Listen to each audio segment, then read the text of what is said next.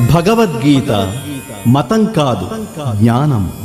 భగవద్గీత ఉత్తమ జీవన విధాన మార్గం ఉన్నత వ్యక్తిత్వ వికాస సాధనం.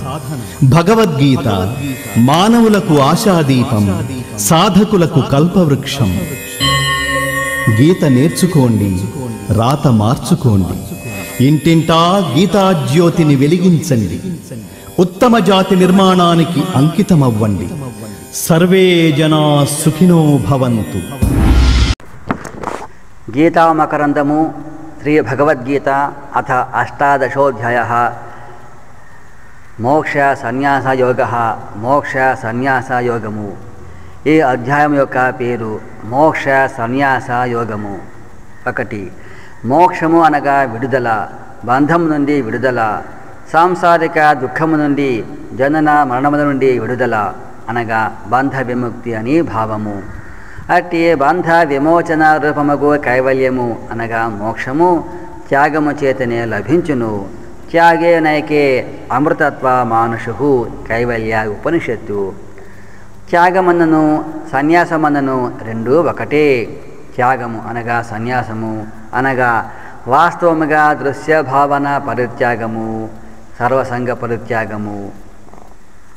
ప్రపంచము దేహము మనస్సు ఇత్యాది సమస్త దృశ్య వస్తువుల యొక్క సంగమును బదిలి మోక్ష రూపుడగు భగవంతుని ఒక్కరినే ఆత్మవస్తువును ఒక్క దానినే శరణు పొందవలను. దృశ్య వస్తువు సంబంధమైన భావన అంతయు ఏ క్షణమున మానవుడు వదిలివేయునో ఆ క్షణమందే అతడు దృగ్వస్తువుకు ఆత్మగనే శేషించును. అది ఏ మోక్ష స్థితి. అనగా క్షేత్రమును వదులుటచే క్షేత్రజ్ఞుడు శేషించును అని భావము. దృశ్య సన్యాసముచే అనగా త్యాగముచే దృగ్రూపముకు మోక్షము అనగా దైవము ఆత్మ లభించును అని అర్థము. ఈ ప్రకారముగా సన్యాసముచే త్యాగముచే సర్వ దృశ్య వస్తు సంఘ పరిత్యాగముచే మోక్షము లభించును అని బోధింపబడిన అధ్యాయము ఒకటచి దీనికి మోక్ష సన్యాస యోగము అను పేరు వచ్చినది. రెండు మోక్ష సన్యాసమునకు మరొక అర్థము. మోక్షమనగా దైవము భగవంతుడు. సన్యాసము అనగా సమస్త కర్మలను అర్పించుట. సమస్త కర్మలను ఆ కర్మల యొక్క ఫలములను భగవంతునకు అర్పించుటయే మోక్ష సన్యాసము అని చెప్పవచ్చును. మూడు ఇంకొక అర్థము. మోక్షమును సన్యసించుట వదలుట మోక్ష సన్యాసము. ప్రతివాడు కూడా మోక్షమును కోరుదురే కానీ వదలరు కదా అనిన. కోరునది ఎవరు? కాంక్షించినది ఎవరు? మోక్షమును కోరునది బంధమున ఉన్నవారే. బద్ధుడే ముక్తిని కోరును. కానీ గీత పదునేడు అధ్యాయములందు చెప్పిన అఖండముకు బోధను జీర్ణించుకొనిన వాడు ఇక బద్ధుడు ఎట్లకును అజో నిత్య శాశ్వతోయం పురాణో అని నిత్య సత్య సనాతనమగు తన ఆత్మను ఎరిగిన వానికి ఇక బంధమెచ్చట బంధమే లేనప్పుడు ఇక మోక్షమును గుర్చిన ప్రశ్నయే ఎచ్చట కాబట్టి అట్టి ముక్త స్థితిలో జీవుడు మోక్ష భావనను కూడా వదిలివేచును సన్యసించి వేచును ఏలయనగా అత్తరి తానే మోక్ష రూపుడై వెలయును. న నిరోధో నచ ఉత్పత్తి న బద్ధో నచ సాధక న ముముక్షు న ముక్త ఇత్యేష పరమార్థత. అమృత బిందూపనిషత్తు బంధమే లేనప్పుడు మోక్షమును గుర్చిన ప్రశ్న ఏచట? పదినేడు అధ్యాయముల బోధను చక్కగా అనుభూతము చేసుకొన్నచో భగవానుడే అతనికి మోక్షమును ప్రసాదించును. కనుక మోక్షమును గుర్చిన సంకల్పమే అతనికి అనవసరము. అతడి మోక్ష సంకల్పమును అతడు వదిలివేయవచ్చును. అది మోక్ష సన్యాసము. ఇంతవరకు పదిహేడు అధ్యాయములందు చెప్పిన బోధలనియు ఈ అధ్యాయమున సంక్షేపముగా చెప్పబడినవి. మరియు ఇదివరకు ఏవైనా బోధలు విడిచి ఉండినా అవి కూడా ఇచ్చట సంపూర్తి చేయబడెను. కనుక ఈ అధ్యాయమును గీతా సారమని గాని సంక్షిప్త గీత అని గాని చెప్పవచ్చును. ఇట్టి అపూర్వ అధ్యాత్మ బోధలను బలచినవాడు ఇక ముక్తి నొందక ఉండగలడా? తప్పక ముక్తిని పొందును ముక్తుడగును. కనుక అట్టివాడిక మోక్షమును గుర్చిన సంకల్పమును వదలవచ్చును. అనగా మోక్ష సన్యాసమును గావింపవచ్చును. ఎట్టే భావమును సూచించున్నది అగుటచే కూడా దీనికి మోక్ష సన్యాస యోగము అని పేరు కలిగి ఉండవచ్చును. నాలుగు. ఇంతవరకు చెప్పిన పదునేడు అధ్యాయముల యొక్క పేర్లు జ్ఞానయోగమని కర్మయోగమని భక్తి యోగమని ఈ ప్రకారముగా ఉండుటచే ఆయా పేర్ల యొక్క అర్థము జ్ఞానముచే భగవదైక్యమును కర్మచే భగవదైక్యమును భక్తిచే భగవదైక్యమును కలిగించే పద్ధతులను చెప్పు అధ్యాయములు అని తెలుపుకొంటిమి. అట్లా ఇచ్చట మోక్ష సన్యాస యోగము అని చెప్పినప్పుడు మోక్ష సన్యాసము అను క్రియ ద్వారా భగవదైక్యమును సిద్ధింపచేయ యోగము అని ఈ అధ్యాయమును గురించి చెప్పవలసి వచ్చును. ఈ ప్రకారముగా సాక్షాత్ మోక్ష స్వరూపముగు లేక మోక్షప్రదముగు సన్యాసము ద్వారా త్యాగము ద్వారా లేక భగవదర్పణము ద్వారా సర్వసంగరాహిత్యము ద్వారా యోగము భగవదైక్యము సిద్ధించును అని తెలుపు అధ్యాయము ఒకటచి దీనికి మోక్ష సన్యాస యోగము అను పేరు కలిగి ఉండవచ్చును. ఒకటి సన్యాసముచే త్యాగముచే సర్వసంగ పరిత్యాగముచే మోక్షము లభించును. రెండు మోక్షమును అనగా మోక్ష సంకల్పమును కూడా సన్యసింపము. మూడు మోక్ష రూపుడకు భగవంతునకు సర్వకర్మలను సన్యసింపము. నాలుగు మోక్షప్రదమగు లేక మోక్ష రూపముగు సన్యాసముచి త్యాగముచి భగవదైక్యము యోగము సిద్ధించును అని బోధించిన అధ్యాయము ఒకటొచ్చి దీనికి మోక్ష సన్యాస యోగము అని పేరు వచ్చినది. ఈ అధ్యాయమందలి ప్రధాన విషయములు ఒకటి. త్యాగమును గుర్చిన ప్రసంగము రెండు. రెండు. సాంఖ్య సిద్ధాంత ప్రకారము కర్మల యొక్క స్థితికి కారణము వచించుట ఆత్మ అకర్త అని బోధించుట. మూడు. జ్ఞానము కర్మ బుద్ధి ధైర్యము సుఖము అను వీని యొక్క సాత్విక రాజస తామస రూపములు. నాలుగు. చాతుర్వర్ణ్యముల వారి ధర్మములు ఐదు బ్రహ్మ సాక్షాత్కార సిద్ధికి ఉపాయములు జ్ఞాననిష్టను గుర్చి ప్రసంగము. ఆరు భక్తి సహిత నిష్కామకర్మ యోగమును గుర్చిన వర్ణన.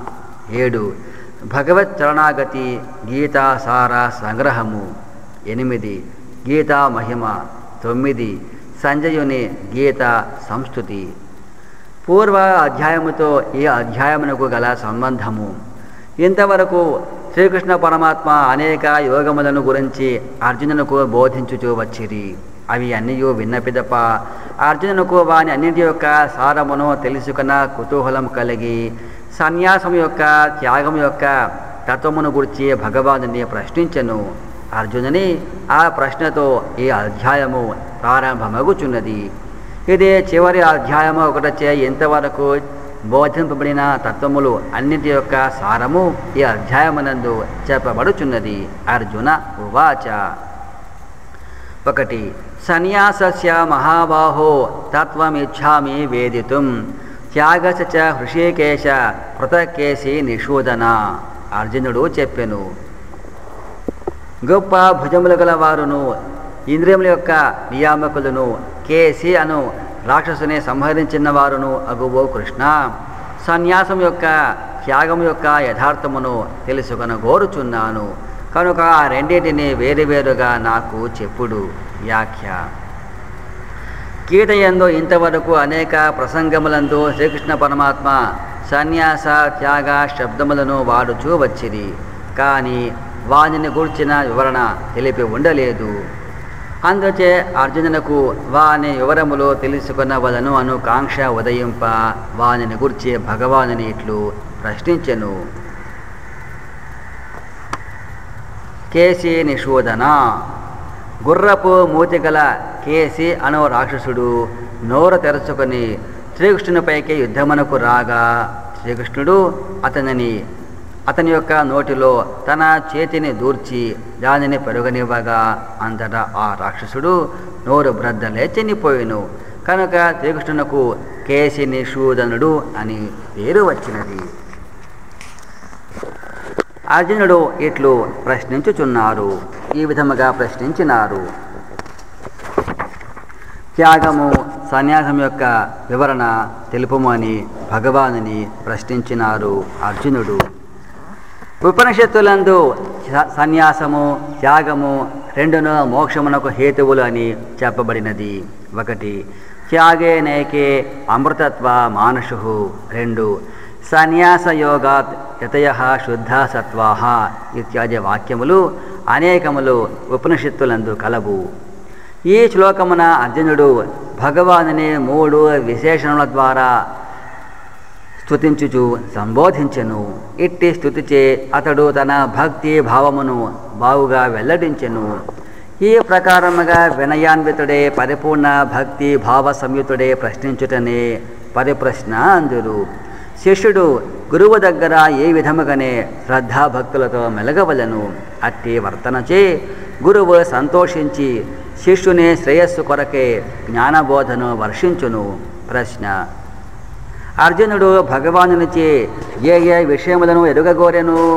ఉత్తరము సన్యాసము త్యాగము అను ఈ రెండింటి యొక్క తత్వమును ఎరుగగోరెను.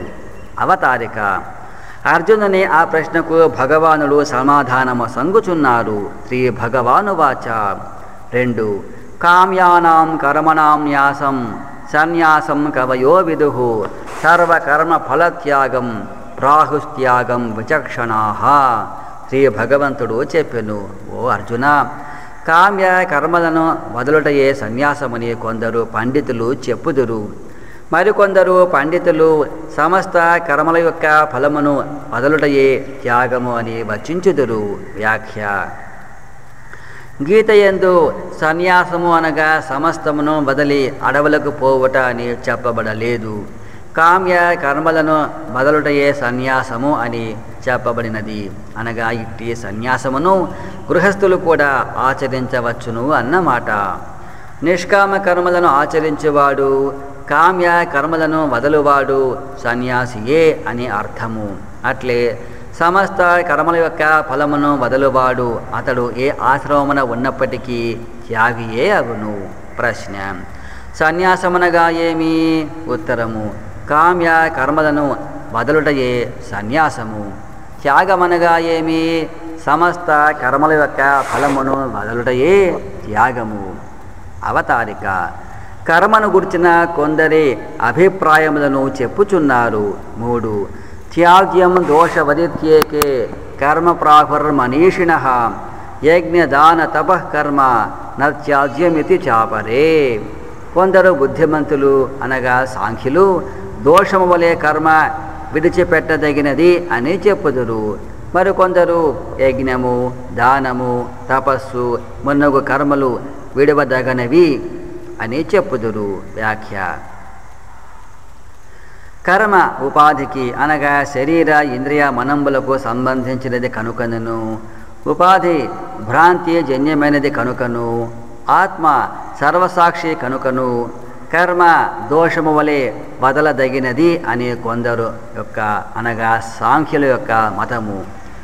కర్మ బొత్తిగా వదలినచో జీవనకు చిత్తశుద్ధి ఎట్లు కలుగును అని అసలు దేహయాత్రయే ఎట్లు జరుగును అని భావించిన వారే మరికొందరు. చిత్తశుద్ధి కర్మలకు తపోయజ్ఞ దానాది కర్మలు వదలదగినవి కావు అని చెప్పుదురు. ఈ ప్రకారముగా జనులందు కర్మను గుర్చిన భిన్నాభిప్రాయములను భగవానుడు వ్యక్తపరచి ఈ విషయమున తన యొక్క నిర్ణయమును రాబోబో శ్లోకమున తెలియజేయుచున్నారు. ప్రశ్న. కర్మను గుర్చే కొందరి అభిప్రాయమేమి? ఉత్తరము. కొందరు కర్మను దోషము వలె వదలవలను అని మరికొందరు తపోయజ్ఞ దానాది కర్మలను వదలరాదు అనియు చెప్పుచున్నారు. అవతారిక. ఇట్లు కర్మను గుర్చి భిన్న మతములను తెలిపి శ్రీకృష్ణమూర్తి ఆ విషయమున తన నిశ్చయమును తెలియజేయుచున్నారు. నాలుగు. నిశ్చయం శృణమే తత్ర త్యాగే భరత సత్తమ త్యాగో హి పురుషౌ వ్యాఘ్ర త్రివిధ సంప్రకీర్తిత భరతకుల ఉత్తముండవును పురుష శ్రేష్ఠుడవును అగువో అర్జున అట్టి కర్మత్యాగ విషయమున నా యొక్క నిశ్చయమేదియో చెప్పెదా వినుము త్యాగము మూడు విధములుగా చెప్పబడి ఉన్నది కదా? వ్యాఖ్య కర్మలను బొత్తిగా వదిలివేయవలను. రెండు తపోయజ్ఞ దానాది కర్మలను మాత్రము వదలరాదు అను రెండు వాదములను చెప్పి భగవానుడు ఆ విషయమున తన తీర్పును చెప్పుచున్నారు. నిశ్చయం తృణుమే అని చెప్పినందున భగవానుడు తాను పూర్ణముగా స్థిరపరచుకొని నిశ్చయించుకొనిన దానినే వచించుచున్నారు అని అర్థము. ఆహా ఇట్టి భగవన్ నిశ్చయమందు జనులకు ఏల విశ్వాసము ఉండరాదు? తప్పక విశ్వాసము ఉండవలను.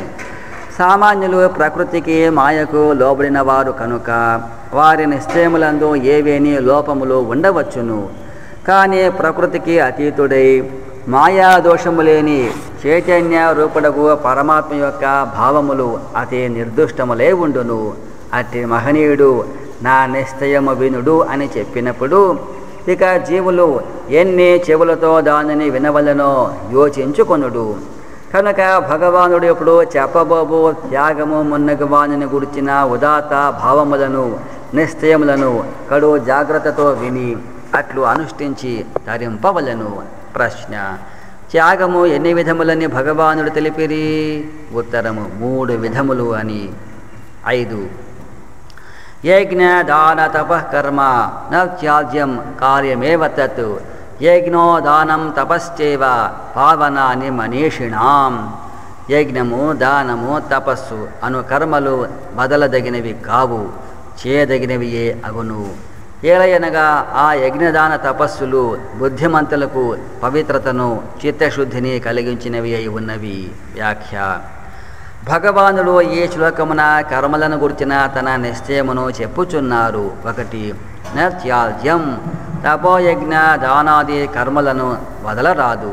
రెండు కార్యమేవ తత్ వానిని తప్పక చేయవలెను. పుణ్యకర్మలను వదలకూడదు అన్న వాక్యంలోనే ఆ కర్మలను చేయవలను అను అర్థము కూడా ఇమిడి ఉన్నది. అయినను భగవంతుడు దానితో తృప్తిపడక ఆ పుణ్యకర్మలను తప్పక చేయవలను అని మరలా చెప్పుటచే. ఈ విషయమును వారెంతగా నొక్కి చెప్పినట్లు అయినదో విదితము కాగలదు. మరియు అట్టి పుణ్యకార్యములను చేయుట ముముక్షువులకు ఎంతటి అవసరమో అది స్పష్టమైనది. సామాన్యముగా లోకములో కొందరు జనులు పుణ్యకార్యములు చేసినచో మరలా జన్మ కలుగును కనుక వానిని చేయరాదు అని అమాయకులకు వారికి దుర్బోధలు చేయుచు అట్టి కార్యముల నుండి వారిని విరమింప చేయుచున్నారు. ఇది చాలా ఘోరము. ఏలయనగా అట్లు కావించుట భగవదాశయమునకు విరుద్ధము. భగవానుడు గీతలో పలుచోట్ల పుణ్యకార్యములను తపోదానాది కర్మలను మిక్కుటముగా ప్రోత్సహించుచూ వచ్చిరి. ఈ శ్లోకమునందును వానిని తప్పక చేయవలను అనియే హెచ్చరించిరి? వానిని వదలరాదు అని శాసించిరి. ఈ ప్రకారముగా సాక్షాత్తు భగవానుడే పలుకుచుండా. ఇక మానవ మాతృల సత్యేతర వాక్యములను ఏల విశ్వసించి అధోగతి పొందవలను. యజ్ఞ తపోదానాది పుణ్యకార్యములను నిష్కామముగా ఆచరించినచో జనులకు చిత్తశుద్ధి కలుగును. చిత్త శుద్ధిచే ఆత్మజ్ఞానము ఉదయించును. ఆత్మ జ్ఞానముచే మోక్షము లభించును. ఈ ప్రకారముగా ఆ యజ్ఞాది కర్మలు మోక్ష హేతువులే అగుచున్నవి. కాబట్టి విఘ్నులు ఎన్నడూ కూడా వాటిని వదలరాదు. పావనాని అని చెప్పుటచే ఆ యజ్ఞాది కర్మలు పరమ పవిత్రములైనవి అనే స్పష్టమగుచున్నది. అవి చేయరానివి అయినచో అపవిత్రములు అయినచో దోషజనకములు అయినచో భగవానుడు వానిని గురించి పావనాని అని ఇచట చెప్పనే చెప్పరు. మనీషిణాం తెలివిగల వారికి బుద్ధిమంతులకు అనగా ఫలమును కోరక చేయువారికి అని అర్థము. ఫలమును కోరే చేయువారు బుద్ధి వికాసము లేనివారు కనుక వారు మనీషులు కారు. ఇచ్చట యజ్ఞమనగా జ్ఞాన యజ్ఞమని ఇదివరలో నాలుగవ అధ్యాయమన చెప్పిన స్వాధ్యాయాది చిత్త శుద్ధికరములకు వివిధ యజ్ఞములు అని భావము. ప్రశ్న యజ్ఞ తపోవదానాది కర్మలను చేయవలనా వదలవలనా? ఉత్తరము వానని వదలరాదు తప్పక చేయవలను. ఎందువలన? అవి జనులను పవిత్రవంతులుగా చేయును వారికి చిత్తశుద్ధిని కలిగించును. ఏ ప్రకారం ఆచరించినచో ఫలాభిలాషరహితముగా నిష్కామముగా ఆచరించినచో? మనిష అనగా తెలివి కలిగే వాని విషయమే జాగ్రత్తగా వర్తించినచో జనులను అవి పవిత్రవంతులుగా చేయును చిత్తశుద్ధిని ముక్తిని కలిగించును. అవతారిక. తన ఆ నిశ్చయమును భగవానుడు ఇంకను దృఢపరచుచున్నారు. ఆరు. ఏతానేపితో కర్మాని సంగం త్యక్వా ఫలాని చ కర్తవ్యానీతి మే పార్థ. నిశ్చితం మతం ఉత్తమం. అర్జున ఈ యజ్ఞదాన తపకర్మలను కూడా ఆసక్తిని ఫలములను విడిచియే చేయవలను అని నా యొక్క నిశ్చితమగు ఉత్తమ అభిప్రాయము వ్యాఖ్య. క్రిందటి శ్లోకమునందు యజ్ఞదాన తపములను తప్పక చేయవలను అని చెప్పిరి. అయితే వానిని ఏ ప్రకారముగా ఆచరింపవలనో ఆ పద్ధతిని చట తెలియజేయుచున్నారు. ఆయా కర్మలను అసంగముగా ఫలాపేక్షను వదిలి చేయవలను అని చెప్పబడినది. సంగముతో అనగా నేను కర్తాను అభిమానముతో చేయుటచే ఫలములను కోరుటచే కర్మ యొక్క పవిత్రత తగ్గిపోవచ్చున్నది. కర్మలో దోషము లేదు కానీ దానిని సంగముతో కర్తృత్వ అభిమానముతో చేయుటచే దోషము ఏర్పడుచున్నది. కాబట్టి ముముక్షువులు అసంగముగా ఫలాపేక్షారహితముగా ఆ తపోదానాది పుణ్యకార్యములను ఆచరింపవలను. తన ఈ అభిప్రాయమును గురించి ఇది నిశ్చయింపబడినది శ్రేష్టమైనది నిశ్చితం ఉత్తమం అని. భగవానుడు తెలిపినందున అద్దాని మహత్తర శక్తి ఉపాధేయత్వము వెల్లడి అగుచున్నవి ఇది సాక్షాత్ భగవంతుడే బావుగా నిశ్చయించి చెప్పిన భావము కనుక అతి నిర్దిష్టమై ఉండుటచే విఘ్నులెల్లరూ ఈ దానిని అనుసరింపవలను. ప్రశ్న. పైన తెలిపిన యజ్ఞదానాది కార్యములను ఎట్లు ఆచరింపవలను? ఉత్తరము.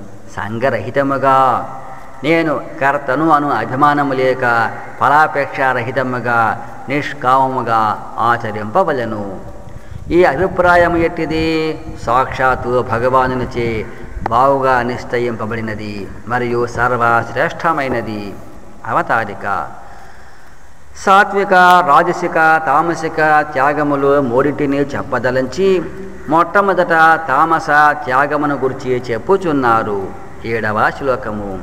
నియతస్యతు సన్యాస కర్మణో నోపపద్యతే. మోహాత్తస్య పరిత్యాగ తామస పరికీర్తిత. వేదశాస్త్రాదులచే విధింపబడినట్టి కర్మ యొక్క పరిత్యాగము యుక్తము కాదు. అజ్ఞానముచే అట్టి కర్మను ఎవడైనా విడిచిపెట్టినచో అది తామస త్యాగమే అగును అని చెప్పబడుచున్నది. వ్యాఖ్య. శాస్త్ర విహితమగు కర్మను ఎవరు కూడా వదలరాదు. శాస్త్రములందు విధింపబడు కర్మలన్నయు జీవుని యొక్క నైతిక ఆధ్యాత్మిక సమున్నతికి దోహదమును కలిగించినవియే ఒకటచే వానిని ఎవరూ కూడా వదలరాదు. అట్లు త్యజించుట అవివేకమేయగును కనుకనే మోహాత్ అనేచట చెప్పిరి. అనగా మోహముచే అజ్ఞానముచే ఆవరింపబడినప్పుడు మాత్రమే అట్టి విద్యుక్త కర్మను ధర్మమును బదులు సంకల్పము జీవనకు కలుగుచుండును అని భావము. కాబట్టి వివేకమును ఆశ్రయించి అట్టి శాస్త్ర నియత కర్మలను పరిత్యజింపక ఆచరించుటయే శ్రేయస్కరము. సోమరితనము చేయగాని అజ్ఞానము చేయగాని అట్టిదేగు మరే కారణము చేయగాని వానిని త్యజించినచో అది తామస త్యాగమే కాగలదు. ఇదివరలో యజ్ఞ దానాదులను గురించి వర్ణించినప్పుడు మున్ముందు జ్ఞానము ధైర్యము మున్నగ వానిని చెప్పునప్పుడును మొదట సాత్వికమైన దానిని తదుపరి రాజసమైన దానిని ఆ పిమ్మట తామసమైన దానిని చెప్పి ఈ ఒక్క త్యాగమును గురించి చెప్పినప్పుడు మాత్రము మొదట తామసమును తదుపరి రాజసికమును ఆ పిమ్మట సాత్వికమును చెప్పుట గమనార్హమే ఉన్నది.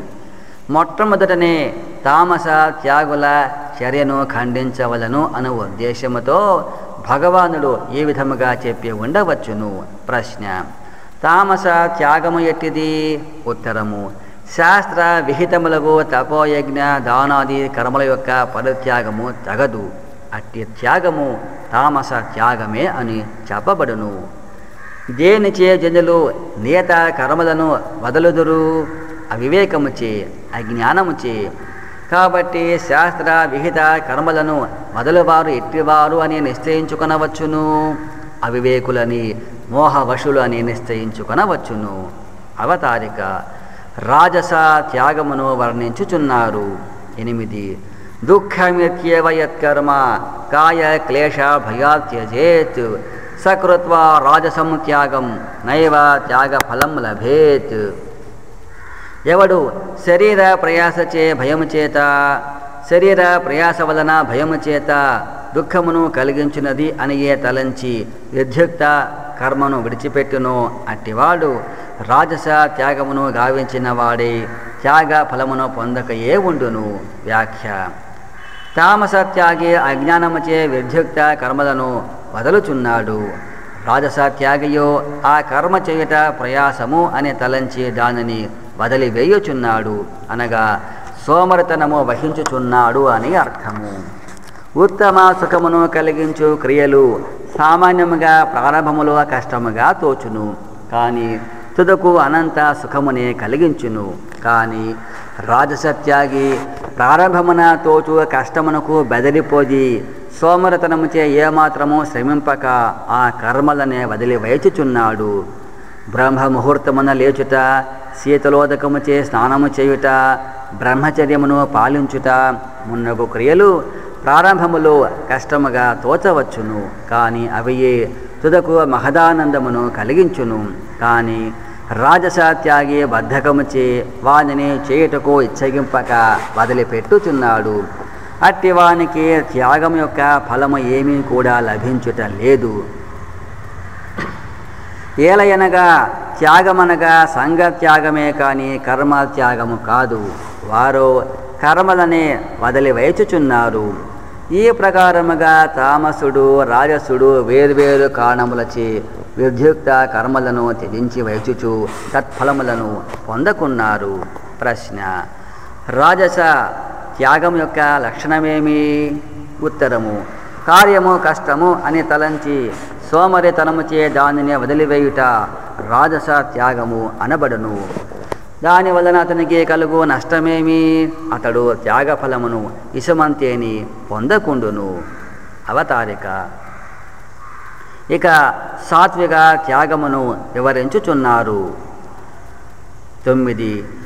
కార్యమిత్యేవా యత్కర్మ నియతం క్రియతేర్జున సంగం త్యక్వా ఫలం చేవ సత్యాగ సాత్వికో మత. ఇది చేయదగినది ఏ అని తలంచి శాస్త్ర నీతమగు ఏ కర్మ అభిమానము ఫలము విడిచిపెట్టబడి చేయబడుచున్నదో. అట్టి కర్మయందలి సంగఫల త్యాగము సాత్విక త్యాగము అని నిశ్చయింపబడినది. వ్యాఖ్య. త్యాగమనగా సాంగ త్యాగమే కానీ ఫలత్యాగమే కానీ కర్మత్యాగము కాదు అని ఈ శ్లోకము ద్వారా స్పష్టముగా వెల్లడి అగుచున్నది మరియు కార్యం అని చెప్పినందున శాస్త్ర నీతమగు కర్మ మానవుడు తప్పక చేయవలను అనియే బోధితమగుచున్నది తామసుడు శాస్త్రవిధి తెలియక దానిని ఆచరింపక ఉండును. రాజసుడు తెలిసియో ఆచరించుట కష్టము అని భావించి దానిని చేయకుండును. సాత్వికుడు తెలిసియు కష్టములకు జంకక సంగమును ఫలమును వదిలి దానిని ఆచరించును. సాత్వికునిదే ఉత్తమ పద్ధతి అని అతడు గావించిన త్యాగమే ఉత్తమ త్యాగమని ఈ శ్లోకము ద్వారా విదితమగుచున్నది. కనుక దానినే విఘ్నులు అవలంబింపవలను. ప్రశ్న. సాత్విక త్యాగం యొక్క లక్షణమేమి? ఉత్తరము. శాస్త్ర నీతమగు కర్మను ఇది తప్పక చేయవలను అని ఎంచి ఫలమును సంగమును ఆసక్తిని వదిలి చేయుట సాత్విక త్యాగము అనబడును. అవతారిక. అట్టి త్యాగశీలుడు కర్మలందు ఇచ్ఛాద్వేషములు లేకుండును అని తెలుపుచున్నారు. పది. నా ద్వేష్టి అకుశలం కర్మ కుశలే నానుషజ్యతే త్యాగే సత్వ సమావిష్టో మేధావి చిన్న సంశయ. సత్వగుణముతో కూడినవాడు ప్రజ్ఞాశాలి సంశయములను పోగొట్టుకునినవాడు అగు త్యాగశీలుడు. అశుభమును కామ్యమును దుఃఖకరమును అగువ కర్మను ద్వేషింపడు. శుభమును నిష్కామమును సుఖకరమును అగువ కర్మయందు ఆసక్తుడు కాడు అనగా అభిమానము కలిగి ఉండడు. వ్యాఖ్య. సత్వగుణముతో కూడిన కర్మఫల త్యాగి ద్వంద్వములందు సమబుద్ధి కలిగి ఉండును అని చెప్పబడుచున్నది. ఒక దానిని ద్వేషించట గాని మరొక దాని ఎందు ఆసక్తి కలిగి తగులు పొందుట గాని అతనికి ఉండదు. అతడు ఇచ్ఛా ద్వేషరహితుడే ఉండును. అశుభకర్మను కామ్యకర్మను ద్వేషింపడు అని చెప్పినంత మాత్రము చేత దానిని ప్రేమించును అని అర్థము కాదు. జీవన్ముక్తిని వలె దాని ఎడల తటస్థ భావము కలిగి తాను మాత్రము దానిని ఆచరింపక శుభ కార్యమునే నిష్కామ కర్మనే ఆచరించును. అట్లు ఆచరించినను. దానితో కలియక దాని ఎందు అభిమానము సంగము లేక ఉండును. ప్రశ్న సత్వగుణశీలుడు అగు కర్మఫల త్యాగి యొక్క స్వభావము ఎట్లుండును? ఉత్తరము అతడు సత్వగుణ సంపన్నుడై ప్రజ్ఞాశాలి అయి సంశయరహితుడై అశుభ కర్మలను అనగా కామ్యాది కర్మలను ద్వేషింపక. శుభకర్మలందు అనగా నిష్కామాది కర్మలందు తగులుకొనక అభిమానము లేక ఉండును. అవతారిక. కర్మ ఫలములను బదులువాడే త్యాగి అని వచించుచున్నారు. పదనొకండు. నహి దేహభృత శక్యం త్యక్తుం కర్మాణి అశేషత. ఎస్తు కర్మఫలత్యాగి సత్యాగి త్యభిధీయతే. కర్మలను పూర్తిగా విడుచుటకు దేహధార్యగు జీవనకు సాధ్యము కాదు. ఎవడు కర్మల యొక్క ఫలమును విడుచుచున్నాడో అట్టివాడే త్యాగి వ్యాఖ్య. దేహధార్యగు జీవుడు దేహ సంరక్షణాదులకే కర్మను చేయవలసియే ఉన్నాడు. కనుక కర్మలను పూర్తిగా విడుచుటకు అతనికి సాధ్యపడదు. ఈ కాలమున ఆయా కర్మలను చేయుచు వాని ఫలములను వదిలిపెట్టుటయే సర్వోత్తమగు పద్ధతి. అట్టివాడు ఇక ఆ కర్మలచే బద్ధుడు కానేరడు. మరియు అట్టివాడే త్యాగి అని చెప్పబడును. త్యాగి అనగా బాహ్య వస్తువులను త్యాగము చేయవాడు కాదని కర్మలను చేయుచుగానే ఫలములను మొదలువాడే త్యాగి అని అభిమానమును సంగమును త్యజించువాడే త్యాగి అని ఈ శ్లోకము ద్వారా వెల్లడి అగుచున్నది. కేవలము కర్మలను వదిలివేసినంత మాత్రమున మానవుడు త్యాగి కానేరడు. త్యాగ ఫలమును పొందనేరడు.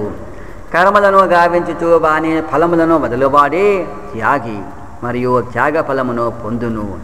దీనిని బట్టి అంతరంగమున గల త్యాగత్వము ఫలాపేక్ష రూప దేహాభిమాన రూప అంతరంగ మనోవృత్తి యొక్క త్యాగము పైనని ఆధారపడి ఉన్నది కానీ బాహ్య వస్తువుల యొక్క పరిత్యాగంపై కాదు అని స్పష్టపడుచున్నది.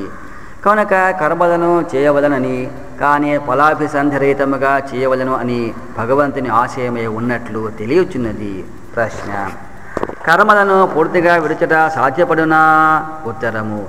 దేహధార్యగు జీవనకు అది సాధ్యపడదు. త్యాగి అనగా ఎవడు? ఎవడు కర్మలను చేయొచ్చు వాని ఫలములను వదిలివేయునో అతడే త్యాగి అనబడును. అంతేకాని కర్మలను వదిలినవాడు త్యాగి కాదు.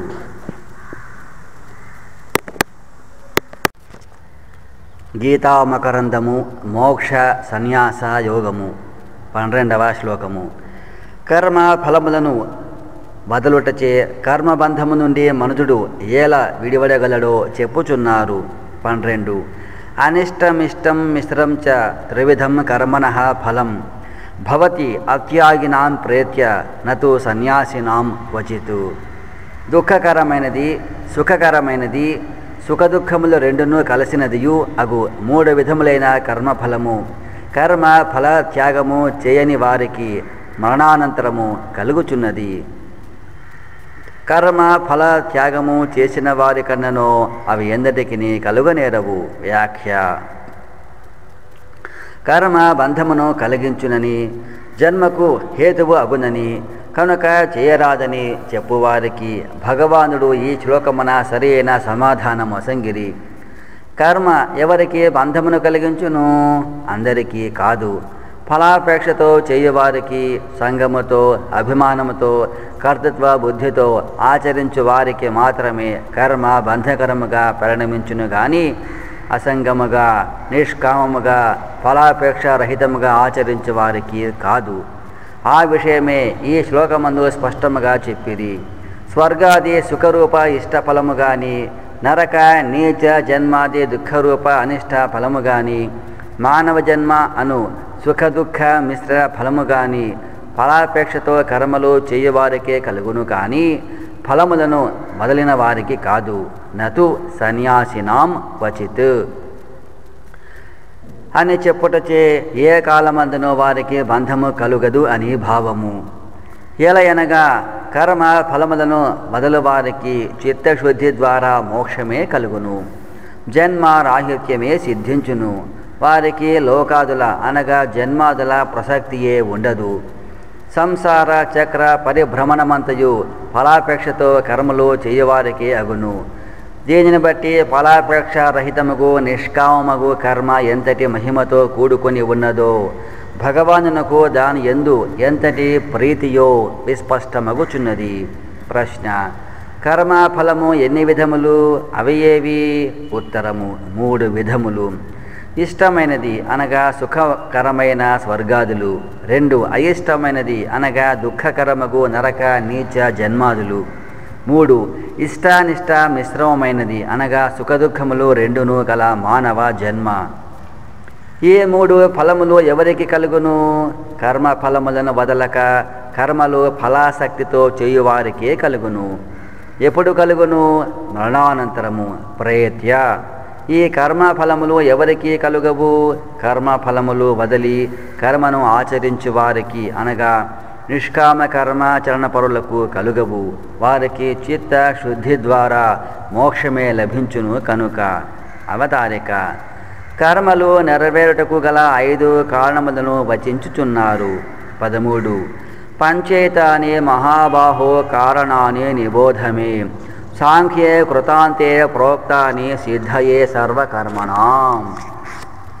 గొప్ప బాహువులు గలవు అర్జున సమస్త కర్మలు నెరవేరుటకు కర్మకాండ యొక్క అంతమును తెలుపు సాంఖ్య శాస్త్రమునందు చెప్పబడిన ఈ ఐదు కారణములను నా వలన తెలుసుకొనుము. వ్యాఖ్య కృత ప్లస్ అంతే కృతాంతే.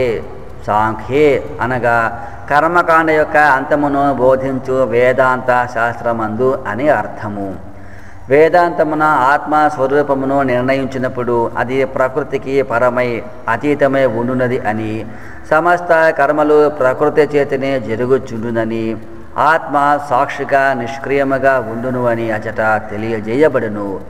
కనుకనే సమస్త కర్మలు అంతముగు వేదాంత శాస్త్రమునాయి అని ఎచట చెప్పబడినది.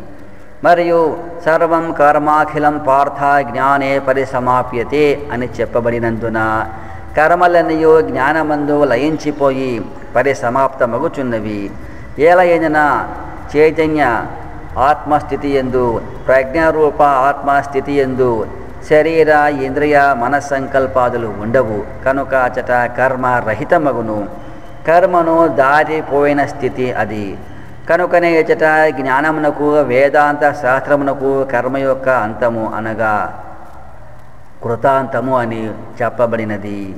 ప్రశ్న ఏ కర్మ అయినను జరుగుటకు ఎన్ని కారణములు ఉండవలను?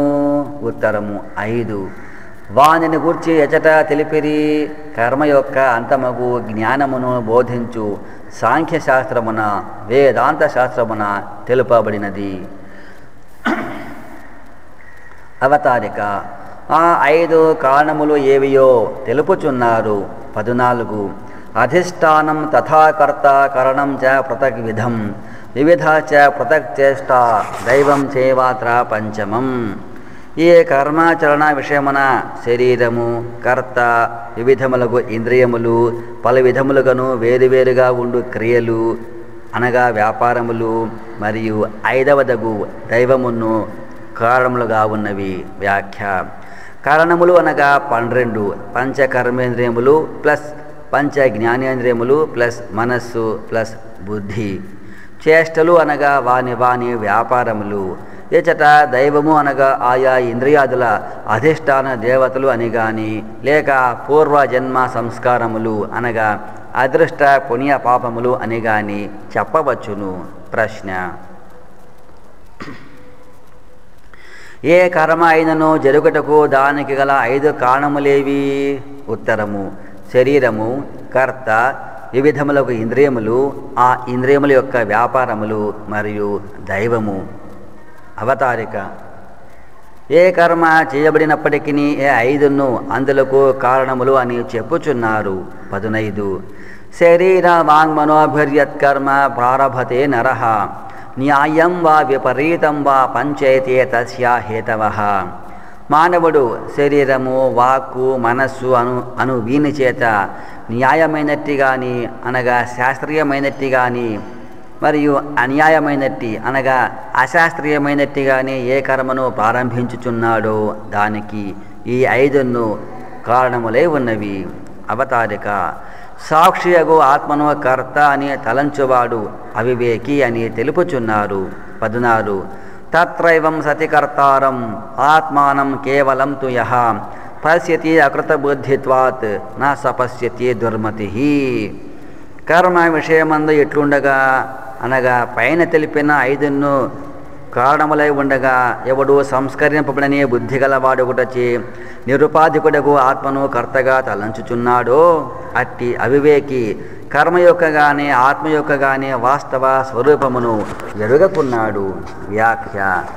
కర్మ ఎందు ఆత్మ కర్త కాదు. పైన తెలిపిన ఐదు మాత్రమే కర్తలు.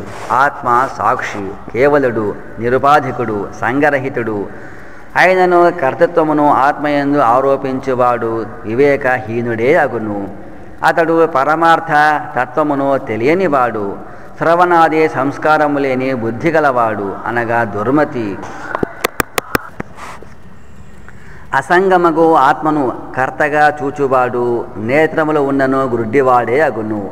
ఏలయనగా అతడు సత్యమును గాంచుట లేదు. ఆత్మకు కర్తృత్వము ఆరోపించుట అజ్ఞానమే అగును. కనుకనే అట్టివారు గుడ్డివారే అని చెప్పబడినది.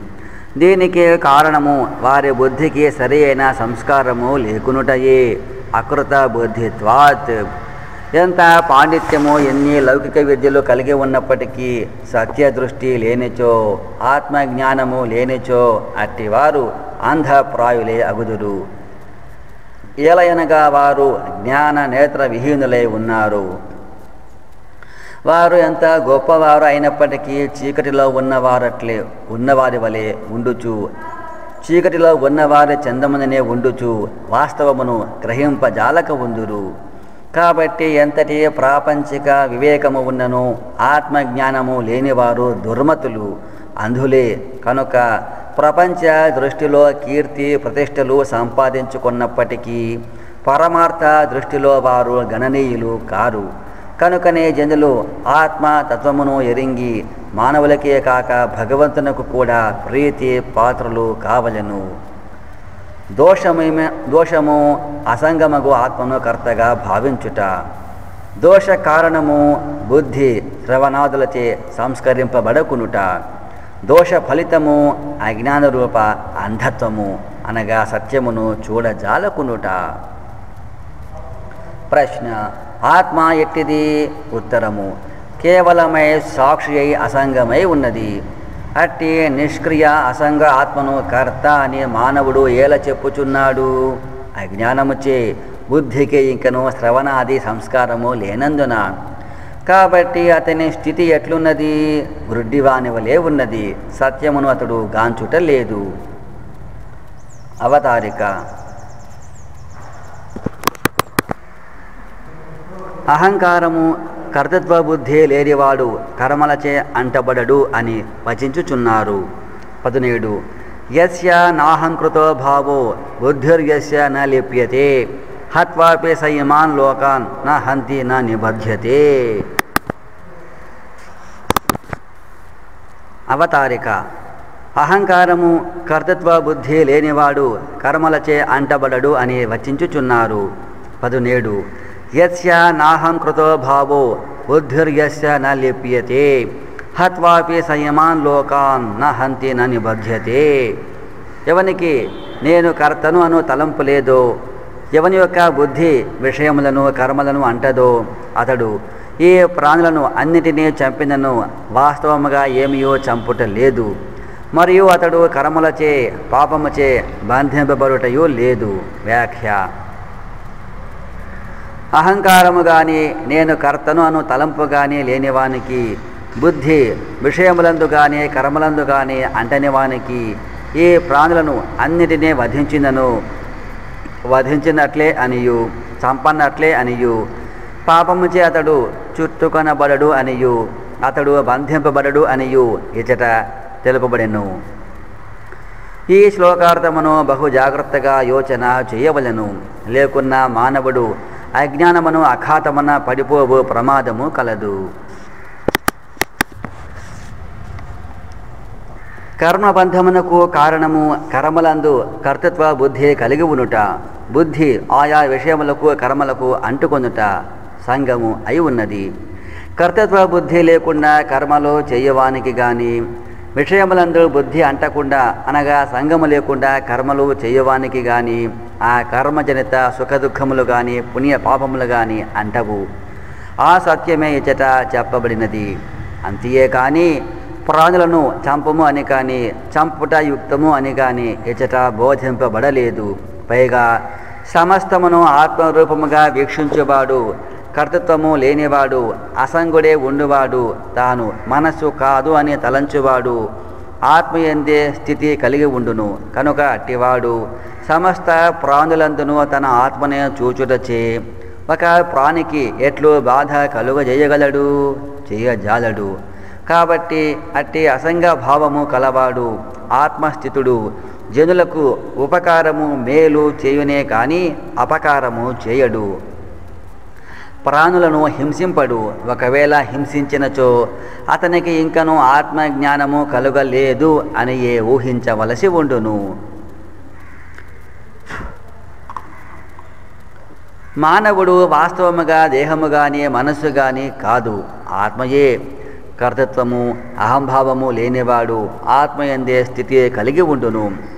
అట్టివాడు బుద్ధిచే గావింపబడు కర్మలతో కానీ తజ్జనిత బంధముతో కానీ ఏ సంబంధము లేకుండును. కాబట్టి అతడు ఒక ప్రాణినే కాదు అన్ని ప్రాణులను ఒకవేళ చంపినను. బుద్ధితో సంగము లేకునుటచే కర్తృత్వము లేకునుటచే ఆత్మయందే ఉండుటచే అతడు చంపనట్లే అగుచున్నాడు. మరియు ఆ వధవలన కలుగు పాపముచే బంధముచే అంటబడక ఉండుచున్నాడు. ఇచట ఆత్మ యొక్క ఆత్మ స్థితుని యొక్క నిర్లేపత్వమును గురించిన ఒకనొక సిద్ధాంతము సత్యము చెప్పబడినదే కానీ హింస ప్రేరణము కాదు.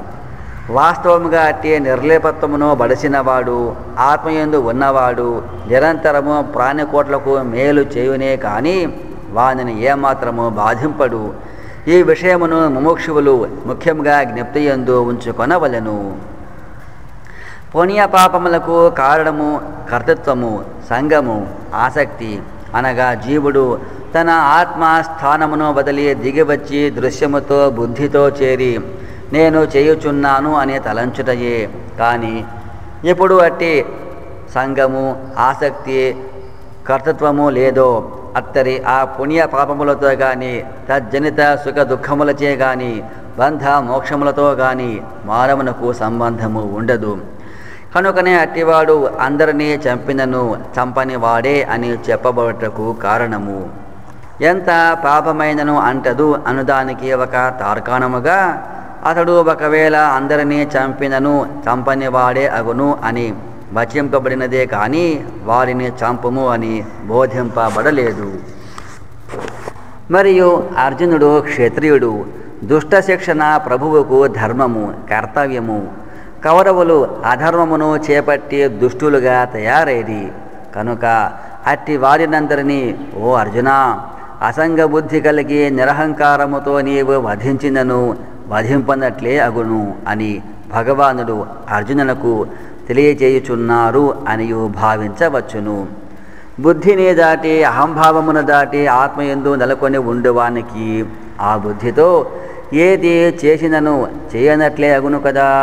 అయితే అట్టి స్థితి ఎందు ఉండువారు అసభ్యమైన అధర్మయుతమైన హింసాకరమైన పీడాకరమైన క్రియలు ఏవియు చేయరు. ఇమాన్ లోకాన్ అని చెప్పినందున అర్జునునకు చెప్పినందున ఈ ఎదుట ఉన్న కౌరవరాజులు మున్నగువారు అనియు తలంపవచ్చును. ప్రభువులు దుష్టులకు ద్రోహులకు గావించు శిక్ష పాపముగా పరిగణింపబడదు. కనుక అది వారిని బంధింపదు. పైగా అట్టి క్రియను అసంగ బుద్ధితో ఆచరించినప్పుడు ఇంకనూ ఏమాత్రము బంధ ప్రభావమును కలుగజేయదు. కాబట్టి భగవానుడు తెలిపిన ఈ శ్లోకమందలి భావమును చాలా లోతుగా విచారించి పరప్రాణికి ఏమిలో బాధ కలుగజేయక ఆత్మయందు స్థితుడై అసంగ బుద్ధితో ఆయా కార్యముల నెరవేర్చుచు బంధ విముక్తుడై వెలయవలను ప్రశ్న పాపమునకు బంధమునకు కారణమేమి ఉత్తరము అహంభావము అనగా నేను కర్తను అనుభావము మరియు బుద్ధి యొక్క సంగము విషయాదులతో కర్మాదులతో అంటుకొనుట। పాపము బంధము తొలగటకు ఉపాయమేమి? అట్టి సంఘ కర్తృత్వాదులు లేకునుట। అత్తరి కార్యములను చేసినను వానిచే అతడు బంధింపబడడు. అవతారిక. కర్మకు కారణమును ఆధారమును తెలుపుచున్నారు. పద్దెనిమిది. జ్ఞానం జ్ఞేయం పరిజ్ఞాత త్రివిధ కర్మ చోదన. కరణం కర్మ కర్తేతి త్రివిధ కర్మ సంగ్రహ. కర్మకు హేతువు తెలివి తెలియదగిన వస్తువు తెలియవాడు అనే మూడు విధములుగా ఉన్నది. అట్లే కర్మకు ఆధారము ఉపకరణము అనగా సాధనము క్రియ చేయువాడు అనే మూడు విధములుగా ఉన్నది. ప్రశ్న కర్మకు హేతువు ఎన్ని విధములుగా ఉన్నది? అవి ఏవి? ఉత్తరము మూడు విధములుగా. ఉపకరణము క్రియ కర్త అనగా చేయువాడు ఈ మూడు హేతువులు. అవతారిక జ్ఞానము కర్మ కర్త అనువాని యొక్క సాత్విక రాజస తామస రూపములను తెలియజేసేదను అని భగవానుడు పలుకుచున్నారు. పంతొమ్మిది. జ్ఞానం కర్మ చ కర్త చ త్రిధైవ గుణభేదత ప్రోచ్యతే గుణసాంఖ్యానే యథావచ్రును తాన్యపి. గుణములను గుర్చి విచారణ చేయు సాంఖ్య శాస్త్రమునందు జ్ఞానము కర్మము కర్త అనునివియు. సత్వాది గుణముల యొక్క భేదమును అనుసరించి మూడు విధములుగానే చెప్పబడుచున్నవి. వానిని కూడా యథారీతి శాస్త్రోక్త ప్రకారము చెప్పేదా వినుము. ప్రశ్న భగవానుడు గుణభేదమును అనుసరించి మూడు విధములుగా వేనిని గురించి చెప్పదలంచెను? ఉత్తరము జ్ఞానము కర్మ కర్త అను ఈ మూడింటిని గూర్చి వానిని గురించి ఎచట చెప్పిరి? సాంఖ్య శాస్త్రమునందు అవతారిక అందు మొదట జ్ఞానమును ఎత్తుకొని సాత్విక జ్ఞానం యొక్క స్వరూపమును తెలియజేయుచున్నారు. ఇరువది సర్వభూతేషు ఏనైకం భావం అవ్యయం ఈక్షతే. అవిభక్తం విభక్తేషు తజ్జ్ఞానం విద్ధి సాత్వికం. విభజింపబడే వేరువేరుగా ఉన్న సమస్త చరాచర ప్రాణులందును ఒక్కటైన నాశరహితముగు ఆత్మవస్తువును అనగా భగవంతుని యొక్క ఉనికిని విభజింపబడక ఏకముగా ఉన్నట్లు ఏ జ్ఞానం చేత ఎరుగుచున్నాడో అట్టి జ్ఞానము సాత్వికము అని తెలుసుకొనము. వ్యాఖ్య. అజ్ఞానుల దృష్టికి అనగా స్థూల దృష్టికి భౌతిక నేత్రమునకు ఈ ప్రపంచము సమస్త పదార్థములు సమస్త ప్రాణులు విభజింపబడి ఉన్నట్లు వేరువేరుగా ఉన్నట్లు కానుపించును. కానీ జ్ఞానుల దృష్టికి అంతయు అవిభక్తముగను. సర్వత్రా నాశరహితముగు ఒకే ఆత్మవస్తువు పరబ్రహ్మము వ్యాపించి ఉన్నట్లును గోచరించును. ఏ జ్ఞానము చే అట్టి అవిభక్తము వారికి అనుభూతముగును అట్టి జ్ఞానము సాత్వికమైనది అని ఇచ్చట పేరు కనబడెను. సర్వభూతేషు అని చెప్పినందున భగవంతుడు అనగా ఆత్మ సమస్త చరాచర ప్రాణికోట్ల ఎందును వ్యాపించి ఉన్నారు అనే తెలియచున్నది. కనుక ఎట్టి నికృష్ట జీవి అయినప్పటికీ తన వెనుక ఉన్న పరమాత్మను తెలుసుకొని తన యథార్థ రూపమును అవగతము చేసుకొని తరించుటకు అవకాశము కలదు. తరంగము చిన్నదైనను దానికి ఆధారభూతమైన సముద్రమును భావించి దానిలో లీనమగుటకు సముద్ర రూపము అగుటకు అద్దానికి హక్కు కలదు. కనుక ఎట్టి అల్ప వ్యక్తి అయినప్పటికీ ఎవరు కూడా ఇక అధైర్యపడవలసిన పని లేదు. హృదయమును పవిత్రము చేసుకొని తన నిజరూపముగు ఆత్మను తెలిసికొనిన చాలు తరించిపోవును. అనేక తరంగములు ఉన్నప్పటికీ వాని నామరూపములను వదిలి జలమును మాత్రము చూచివాని వలె. పెక్కు కుండలను చూచియు వాని అందలి మృత్తికనే అనగా మట్టినే వీక్షించి వానివలి పుష్పమాలలోని అనేక పుష్పమలందుగల దారమును చూచివానివలి ప్రపంచమున అనేక జీవరాశులను భిన్న భిన్న పదార్థములను చూచినను. వాని ఉపాధి రూపమును నామరూపములను బదిలి అన్నింటి ఎందును అనస్యూతమై ఉన్న అవిభక్తముకు ఏకమైన ఆత్మనే చూచువాడు సాత్విక జ్ఞానయుతుడు అని చెప్పబడును.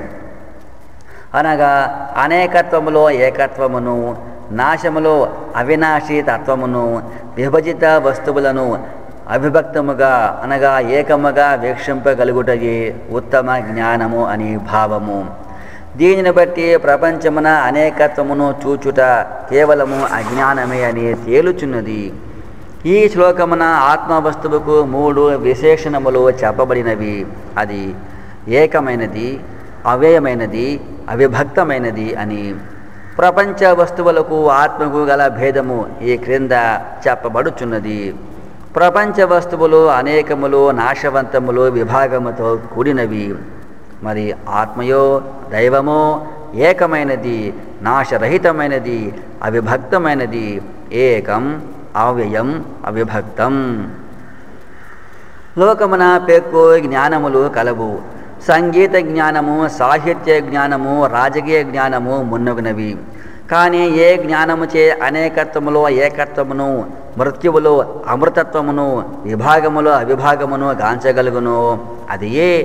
అన్ని జ్ఞానములలోకెల్లా శ్రేష్టమైనది అని. అది ఏ సాత్విక జ్ఞానమని భగవానుడు తెలిపిరి. అది ఏ? అధ్యాత్మ విద్య. కాబట్టి విఘ్నులు ఈ భగవద్వాక్యమునందు విశ్వాసము కలవారే. ఉత్తమోత్తమ జ్ఞానమునే బడచి ధన్యులు అయ్యేదరుగాక. దీనిని బట్టి ప్రపంచములో ఎందరో మేధా సంపన్నులు కళాకుశలురు ఉన్నప్పటికీ ఇట్టి సర్వభూతాత్మ భావము సర్వాత్మ జ్ఞానము అవిభక్త దైవ భావము లేనిచో వారందరూ భగవంతుని దృష్టిలో వాస్తవ జ్ఞాన సహితులే వాస్తవ జ్ఞాన రహితులే అగుదురు. కనుక లౌకికములకు ఇతర విద్యలు జ్ఞానములు ఎన్ని ఉన్నప్పటికీ ప్రతివారు కూడా భగవత్ ప్రోక్తముకు ఈ సాత్విక జ్ఞానమును అవలంబించి సర్వాత్మ దృష్టి కలవారే జీవితమును తరింప చేసుకొనవలెను. అట్లు కాక లోకముల భిన్నత్వమును గాంచుచో అందులకు ఫలితము సంసార బంధమే మృత్యువే జనన మరణ దుఃఖమే. ఉపనిషత్తులు ఈ అర్థమునే ఈ ప్రకారముగా తెలుపుచున్నవి. మృత్యోహో స మృత్యుమాప్నోతి ఇహ నానేవా పశ్యతి. కనుక ప్రపంచంలో ఏ ప్రాణిని చూచినప్పటికీ అతని దేహంపై కానీ గుణంపై కానీ దృష్టిని ఉంచక లోనగల గల దృష్టిని ఉంచవలను. దేహ దృష్టి మాత్రము కలిగి ఉండేవారు అధములు మనోదృష్టి కలిగి ఉండేవారు అనగా ఒక ప్రాణిని చూచినప్పుడు అతని గుణములను మాత్రము పరికించువారు మధ్యములు. ఆత్మదృష్టి దైవదృష్టి కలవారు ఉత్తములు. ఈ భావమే ఈ శ్లోకమున వ్యక్తీకరింపబడినది. కనుక ఆత్మ దృష్టికే సాత్విక జ్ఞానమునకి సర్వులు కూడా ప్రయత్నింపవలను. ప్రశ్న సాత్విక జ్ఞానం యొక్క లక్షణమేమి? ఉత్తరము ఏ జ్ఞానముచే మానవుడు వేరువేరుగా ఉన్న సమస్త ప్రాణులందును ఏకమై నాశరహితమై అవిభక్తమైనట్టి ఆత్మా వస్తువును వీక్షింపగలుగునో. అది ఏ సాత్విక జ్ఞానము? భగవంతుడు ఎచ్చటగలరు సమస్త చరాచర ప్రాణికోట్ల ఎందును కలరు.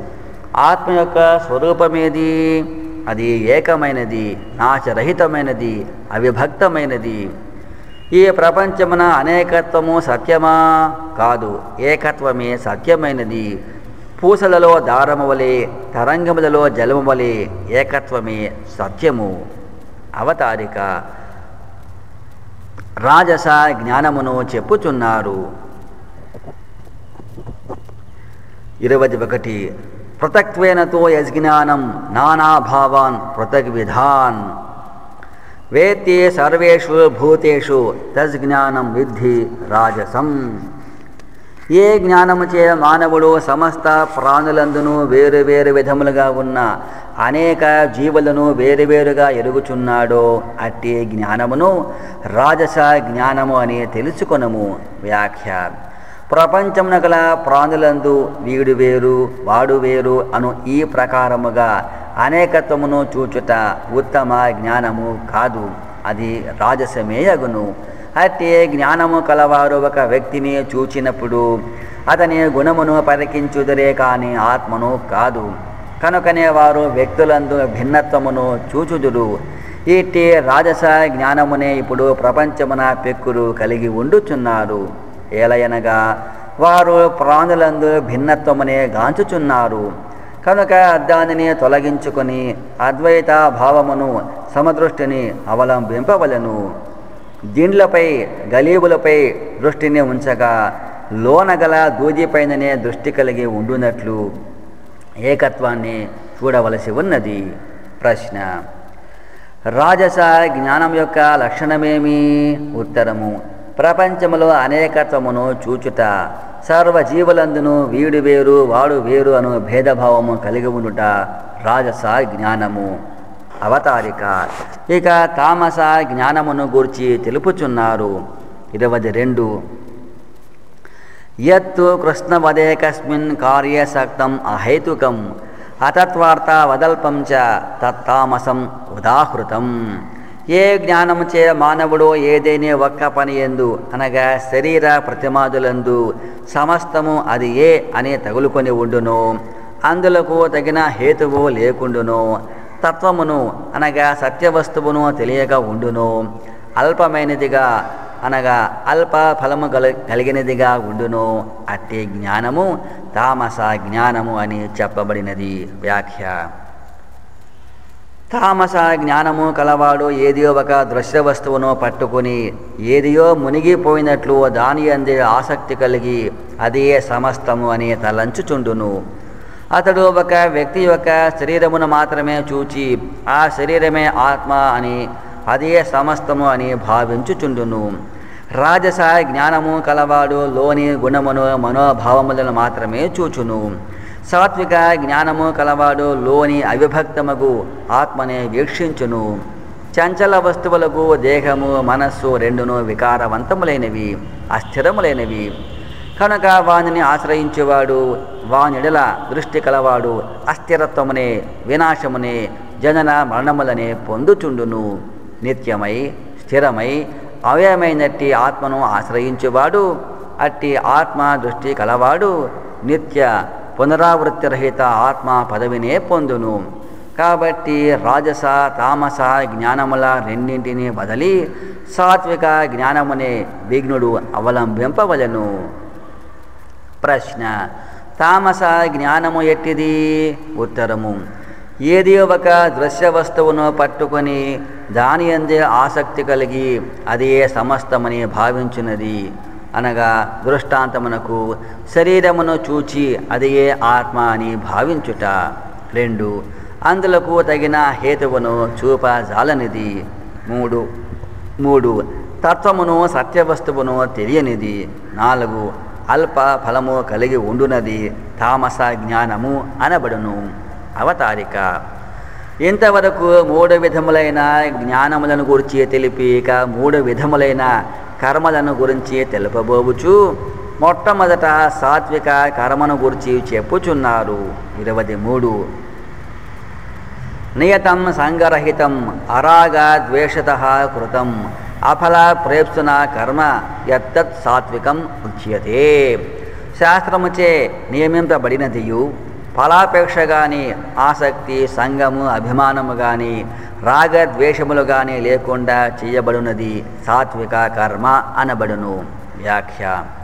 కర్మను గురించి ఎచ్చట చెప్పవలసి వచ్చినను నియతం నియతం అనే భగవానుడు పదే పదే వాకృచుచున్నారు నియతము అనగా వేద శాస్త్రాదులచే నియమింపబడినది అని అర్థము.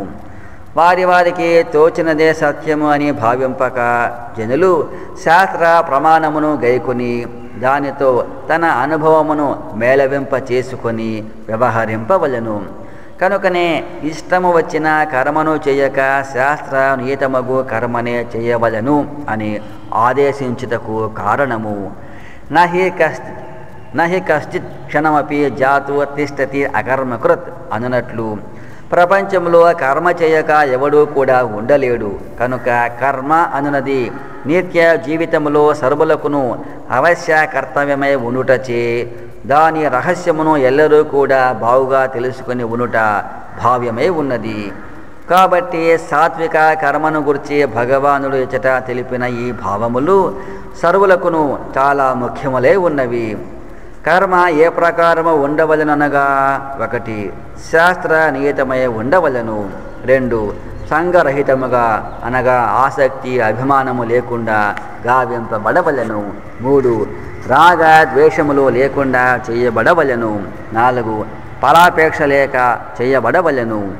ఈ నాలుగు విధముల సరిపోయి ఆచరింపబడు కర్మ చిత్తశుద్ధికరమై హృదయ మాలిన్య నివారకమై దోష భంజకమై జ్ఞానదాయకమై మోక్షప్రదమై ఉండగలదు సంగరహితం బుద్ధిర్యస్య నా లిప్యతే అని ఇదివరలో చెప్పబడినట్లు కర్మలందు బుద్ధి అంటుకొనక ఉనుటయే అసంగత్వము అనగా నేను చేయుచున్నాను అను అభిమానము కానీ మమకారము కానీ ఆసక్తి కానీ ఉండరాదు అట్టివాడు కర్మపాశమచే నా నిబధ్యతే బంధింపబడనేరడు అని గీతాశయము కనుక సంగరహితముగా ఫలాపేక్ష వర్జితముగా కార్యములను ఆచరించుటను అభ్యసింపవలను. అరాగ ద్వేషత పదార్థములపై రాగద్వేషములు లేనప్పుడే సంగరహితముగా కార్యము ఆచరించుటకు వీలుపడును. మరియు ఫలాభిలాషను వదులుటకును అనుకూలపడును. కాబట్టి కర్మ యొక్క శుద్ధత్వమునకు ఈ రాగద్వేష రాహిత్యము అత్యంత ఆవశ్యకమై ఉన్నది. ప్రశ్న. సాత్విక కర్మ ఎట్టిది? ఉత్తరము. శాస్త్ర నియమితమైనది. సంగరహితముగా ఆచరింపబడునది. రాగ ద్వేష వర్జితముగా వనర్పబడునది. ఫలాభిలాష లేక గావింపబడునది. సాత్విక కర్మ అనబడును. అవతారిక. రాజస కర్మను చెప్పుచున్నారు. ఇరవై నాలుగు. ఎత్తు కామేప్సున కర్మ సాహంకారేణ వా పునః. క్రియతే బహుళాయాసం తద్రాజసం ఉదాహృతం. ఫలాపేక్ష గల వాని చేత గాని మరియు అహంకారముతో కూడిన వానిచే గాని అధిక ప్రయాసకరముగు కర్మ ఏది చేయబడుచున్నదో అది రాజస కర్మ అని చెప్పబడినది. వ్యాఖ్య. ఫలాపేక్షతో అహంకారముతో కూడి చేయబడు కర్మ రాజస కర్మ అనబడును. ఆయాసం అని చెప్పక బహుళాయాసం అని చెప్పుటచే రాజస కర్మావలంబి అత్యంత ప్రయాసతో కూడిన కార్యములను చేయుచుండును అని తెలియచున్నది. కానీ అట్టి కర్మలచే అతనికి ప్రయాసయే మిగులును కానీ బంధ నివృత్తి కలుగజాలదు. ఏలైనా అవి అహంకారము ఫలాపేక్ష అను దోషములతో కూడి ఉన్నవి. అహంకారమే బంధము. కర్తత్వమే బంధము ఫలాకాంక్షయే బంధము కాబట్టి విఘ్నుడు అట్టి రాజస కర్మల జోలికి పోక సాత్విక కర్మలనే నిష్కామ బుద్ధితో ఆచరించి తరింపవలను. ప్రశ్న రాజస కర్మ ఎట్టిది? ఉత్తరము ఫలాపేక్షతో అహంకారముతో కూడి ఆచరింపబడినది అధిక ప్రయాసతో కూడినది. తామస కర్మను పేర్కొనుచున్నారు. ఇరవై ఐదు. అనుబంధం క్షయం హింసాం అనపేక్షచ పౌరుషం.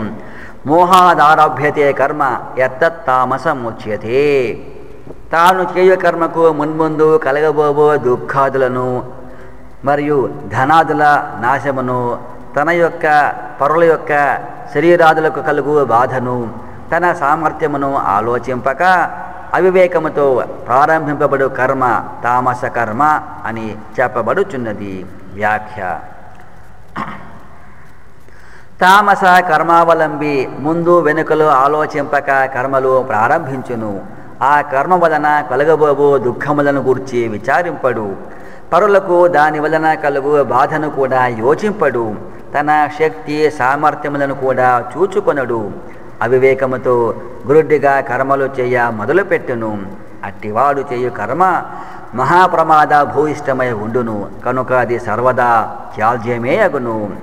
మరియు సామాన్యముగా భగవద్విముఖుడై స్వార్థ సాధన కొరకు గావించు దృశ్య విషయ సంపాదన రూపమైన కర్మలు అన్నీయు. రాజస తామస క్రియల క్రిందకే వచ్చును. ఏలయన వానచే తన ఆత్మకు కలుగు నష్టము అనగా సంసార బంధమును అతడు ఆలోచించుట లేదు. మోహాత్ అనుటచే ఏ రాజస తామస క్రియలు అన్నింటికీ మూల కారణము అవివేకము అజ్ఞానము అయి ఉన్నది అని స్పష్టమగుచున్నది. కాబట్టి మొట్టమొదట వివేకమును సంపాదించి ఇట్టి రాజస తామసాది వృత్తులను వదలి జీవితమును సంస్కరించుకొనవలను. ప్రశ్న. తామస కర్మ ఎట్టిది? ఉత్తరము. ముందు కలగబోబో దుఃఖాదులను మరియు ధనాదుల నాశమును దేహాదుల బాధను తన సామర్థ్యమును ఆలోచింపక అవివేకముతో గ్రుడ్డిగా ఆచరింపబడు కర్మ తామస కర్మ అనబడును. ఇట్టి తామస ప్రవృత్తికి కారణమేమి? అవివేకము. అవతారిక. మూడు విధములకు కర్తలను గురించి చెప్పుచు మొదట సాత్విక కర్త యొక్క స్వభావమును తెలియజేయుచున్నారు ఇరవై ఆరు. ముక్త సంగో అనహంవాది ధృతి ఉత్సాహ సమన్విత సిద్ధ్యసిద్ధ్యో నిర్వికార కర్త సాత్విక ఉచ్యతే. సంగమును ఆసక్తిని ఫలాపేక్షను విడిచినవాడు నేను కర్తను అను అభిమానము అహంభావము లేనివాడు ధైర్యముతో ఉత్సాహముతో కూడి ఉన్నవాడు కార్యము సిద్ధించిననో సిద్ధింపకుందనో వికారము చెందనివాడు అగు కర్త సాత్విక కర్త అని చెప్పబడుచున్నాడు. వ్యాఖ్య. నిత్య జీవితములో మానవుడు నిరంతరము ఏది ఒక కర్మను చేయవలసియే ఉండుటచే కర్తకు ఉండవలసిన ఏ లక్షణములను తెలుసుకొన్నచో చక్కగా వ్యవహరించుటకు వీలకును ఇచ్చట కర్తకు నాలుగు ఉత్తమ లక్షణములు పేర్కొనబడినవి. అందు మొదటిది సంగము లేకునుట. అనగా కార్యము చేసినను ఫలాపేక్షను విడిచిపెట్టి కార్యమునందు తగులుకొనక అసంగుడై ఉండవలను. రెండవది అహంభావము లేకునుట. అనగా నేను కర్తను అను అభిమానము లేకుండవలను. ఇక మూడవది ధైర్యోత్సాహములతో కూడి ఉనుట పెరిగితనమునకు నిరుత్సాహమునకు అధ్యాత్మ క్షేత్రమున చోటే లేదు. అవి కలవాడు ఒక్క అడుగైనను పరమార్థ రంగమన ముందుకు వేయలేడు. తాను కేవలము నిత్య శుద్ధ బుద్ధ ముక్త ఆత్మస్వరూపుడే అని తలంచుకొనుచున్నచో అపరిమిత ధైర్యము ఉత్సాహము మానవునకు కలుగుచుండును. వాస్తవముగా తాను అట్టి నిర్మల ఆత్మయే కనుక ఇక అధైర్యమును నిరుత్సాహమును పారద్రోలి సాధనలందు ప్రయత్నశీలుడు కావలను. సాత్విక కర్త యొక్క నాల్గవ లక్షణము కార్యము యొక్క సిద్ధి అసిద్ధులందు నిర్వికారుడే ఉండుట. కార్యమునందు అపజయమును పొందినచో లేక కార్యము విఫలమైనచో జయము కొరకై సఫలత్వము కొరకే తిరిగి ప్రయత్నించవలసినదే కానీ ఏ విధమైన మనోవికారమును పొందకూడదు. ద్వంద్వములకు ఏమాత్రము జంకకూడదు. ఈ జగత్తంతయు మిథ్యాభూతము అని ఎంచి తాను సాక్ష్యగు సత్య ఆత్మస్వరూపుడు అని భావించి ద్వంద్వములందు సమబుద్ధి కలిగి వర్తింపవలను. ప్రశ్న సాత్విక కర్త యొక్క లక్షణములేవి? ఉత్తరము ఒకటి సంగమును ఫలాపేక్షను బదలుట. రెండు నేను కర్తను అను అహంభావము లేకునుట. మూడు ధైర్య ఉత్సాహములు కలిగి ఉనుట నాలుగు కార్యము సఫలమైనను విఫలమైనను ఏ విధమైన వికారమును చెందకునుట. సాత్విక కర్త యొక్క లక్షణములు. అవతారిక రాజస కర్తను గురించి చెప్పుచున్నారు. ఇరవై ఏడు రాగే కర్మఫల ప్రేప్సు లుబ్ధో హింసాత్మకో అశుచి హర్ష శోకాన్విత కర్త రాజస పరికీర్తిత. అనురాగము బంధ్వాదులందు అభిమానము కలవాడు కర్మఫలమును ఆశించువాడు లోభి హింస స్వభావము కలవాడు శుచిత్వము లేనివాడు కార్యము సిద్ధించినప్పుడు సంతోషముతో చెడినప్పుడు దుఃఖముతో కూడి ఉండువాడు అగు కర్త రాజసకర్త అని చెప్పబడును. వ్యాఖ్య. ఈ పై లక్షణములు కలవాడు రాజసకర్త అని చెప్పబడుటచి ఉత్తముడుగువాడు ఆ లక్షణములను వదిలివేయవలను అనుట సుస్పష్టము. అనగా బంధ్వాదులందు ఇతర ప్రాపంచిక పదార్థములందు అనురాగము అభిమానము లేకుండా వలను కర్మ ఫలమును కోరరాదు. ఏ ప్రాణినే హింసింపరాదు. అశుభ్రతను వదలవలను. కార్యం యొక్క సిద్ధి అసిద్ధులందు హర్ష శోకములను మనోవికారములు లేకుండా సమచిత్తుడై ద్వంద్వ సహిష్ణువై ఉండవలను. ప్రతివాడు కూడా తన హృదయమును పరిశోధించుకొని ఈ పైన తెలిపిన రాజస కర్త యొక్క లక్షణములు ఉన్నచో వానిని ప్రయత్నపూర్వకముగా విడనాడి సాత్విక కర్తయే అయి ఉండులాగున చూడవలను. ప్రశ్న. రాజస కర్త ఎట్టివాడు? ఉత్తరము. ఒకటి బంధ్వాదులందు అనురాగము కలవాడు. రెండు కర్మ ఫలమును ఆశించువాడు. మూడు లోభి. నాలుగు హింస స్వభావము కలవాడు. ఐదు శుచిత్వము లేనివాడు. ఆరు కార్యసిద్ధియందు సంతోషముతో కార్య వైఫల్యమునందు దుఃఖముతో కూడి ఉండువాడు రాజసకర్త అనబడును. అవతారిక. ఇక తామస కర్త యొక్క లక్షణములను వివరించుచున్నారు. ఇరవై ఎనిమిది. అయుక్త ప్రాకృత స్తబ్ద శఠో నైష్కృతికోలస విషాదే దీర్ఘ సూత్రీ చ కర్త తామస ఉచ్యతే మనోనిగ్రహము లేక చిత్తేకాగ్రత లేనివాడు పామర స్వభావము కలవాడు అవివేకము కలవాడు వినయము లేనివాడు మోసగాడు పరులను వంచించి వారి జీవనములను పాడు చేయువాడు సోమరితనము కలవాడు ఎల్లప్పుడూ దిగులుతో ఉండువాడు స్వల్పకాలములో చేయవలసిన దానిని దీర్ఘకాలమునకైనను పూర్తి చేయనివాడు. అగు కర్త తామసకర్త అని చెప్పబడును. వ్యాఖ్య. అయుక్త. మనసు బహిర్ముఖముగా చంచలముగా ఉండువాడు. ఆత్మయందు నిలకడ లేనివాడు ఏకాగ్రత నిగ్రహము లేక ఉండువాడు. అయుక్తుడు అనబడును. ఆత్మతో భగవంతునితో కూడి ఉండనివాడు అయుక్తుడు. అట్టివాని మనస్సు నిగ్రహము లేక బయటనే తిరుగాడుచుండును ప్రాకృత ప్రకృతి గుణములు కలవాడు ప్రాకృతుడు సంస్కారము లేనివాడు పామరుడు అని అర్థము. ప్రతివాడు కూడా తన ఎందలి ప్రకృతి గుణములను తొలగించుకొని అప్రాకృతుడుగా దైవ స్వరూపుడుగా మారవలను. నైష్కృతిక పరుల కార్యములను చెడగొట్టువాడు పరులను వంచువాడు సామాన్యముగా జనులు నాలుగు రకములు. ఒకటి తన సుఖమును కూడా చూడక పరులకు మేలు చేయువాడు. రెండు తన సుఖము చూచుకొనుచు పరులకు హితము చేయువాడు. మూడు తన సుఖము కొరకు పరులకు కీడు చేయువాడు. నాలుగు అనవసరముగా పరులకు కీడు చేయువాడు. మొదటివాడు ఉత్తముడు రెండవవాడు మధ్యముడు మూడవవాడు అధముడు నాలుగవవాడు అధమాధముడు. ఈ శ్లోకమున చెప్పిన నైష్కృతికులు చివరి రెండు తరగతులకు చెందినవారు ఇతరులకు అపకారము చేయుచుందురు. అలసహ సోమరి. భగవానుడు సోమరితనమును తామస గుణముగా చెప్పి దానిని పారద్రోలవలసినదిగా బోధించుచున్నారు. సోమరి ఏ రంగమందున వృద్ధికి రానేరడు? అధ్యాత్మ రంగమున సోమరులకు చోటే లేదు. విషాది తామసకర్త ప్రతి కార్యమందును ఏడుపు ముఖము పెట్టుకొని ఉండును. వాస్తవముగా అనంత ఆనంద పరిపూర్ణుడువగు మానవుడు విషాదయుక్తుడే మూలుగుచునుట కేవలము అజ్ఞానము వల్లనే అగును. కనుక గంభీరముగు స్వస్వరూపమును ఎరింగి విషాదమును పారద్రోలవలను. దీర్ఘసూత్రి మందకొడిగా ప్రవర్తించువాడు. తాబేలు నడక వంటి గమనము కలిగి చిన్న పనిని గంటల తరబడి చేయుచు లేక అసలే చేయక వాయిదా వేయుచుండును. తామసకర్త తరువాత చూచెదములే అను ప్రమత్తతతో బద్ధకముతో కూడిన భావము కలిగి ఉండును.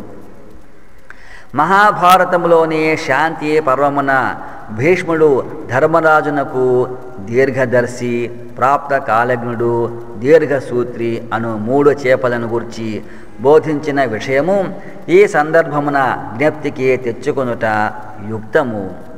ఆ మూడు చేపలందు దీర్ఘదర్శి దూరపు ఆలోచన కలది. ప్రాప్త కాలజ్ఞుడు కొంత ప్రయత్న లోపము కలది.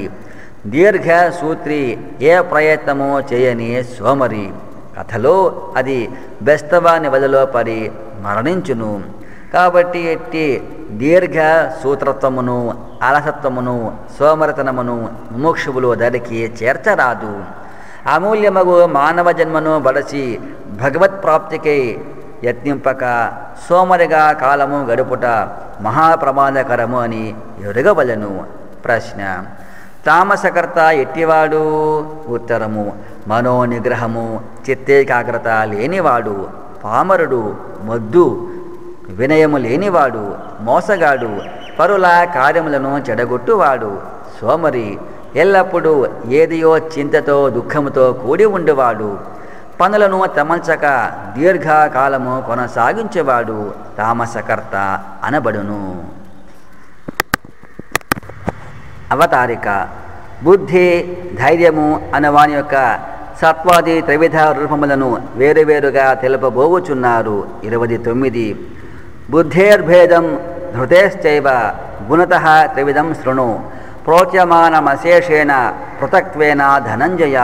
ఓ అర్జున బుద్ధి యొక్క ధైర్యము యొక్క భేదమును గుణములను బట్టి మూడు విధములుగా వేరువేరుగా సంపూర్ణముగా చెప్పబడుచున్న దానిని నీవిప్పుడు వినుము. అవతారిక. మొట్టమొదట సాత్విక బుద్ధిని గురించి చెప్పుచున్నారు ముప్పది. ప్రవృత్తించ చ చ కార్యాకార్యే భయాభయే. బంధం మోక్షం చ యా వేత్తి బుద్ధి సా పార్థ సాత్వికీ.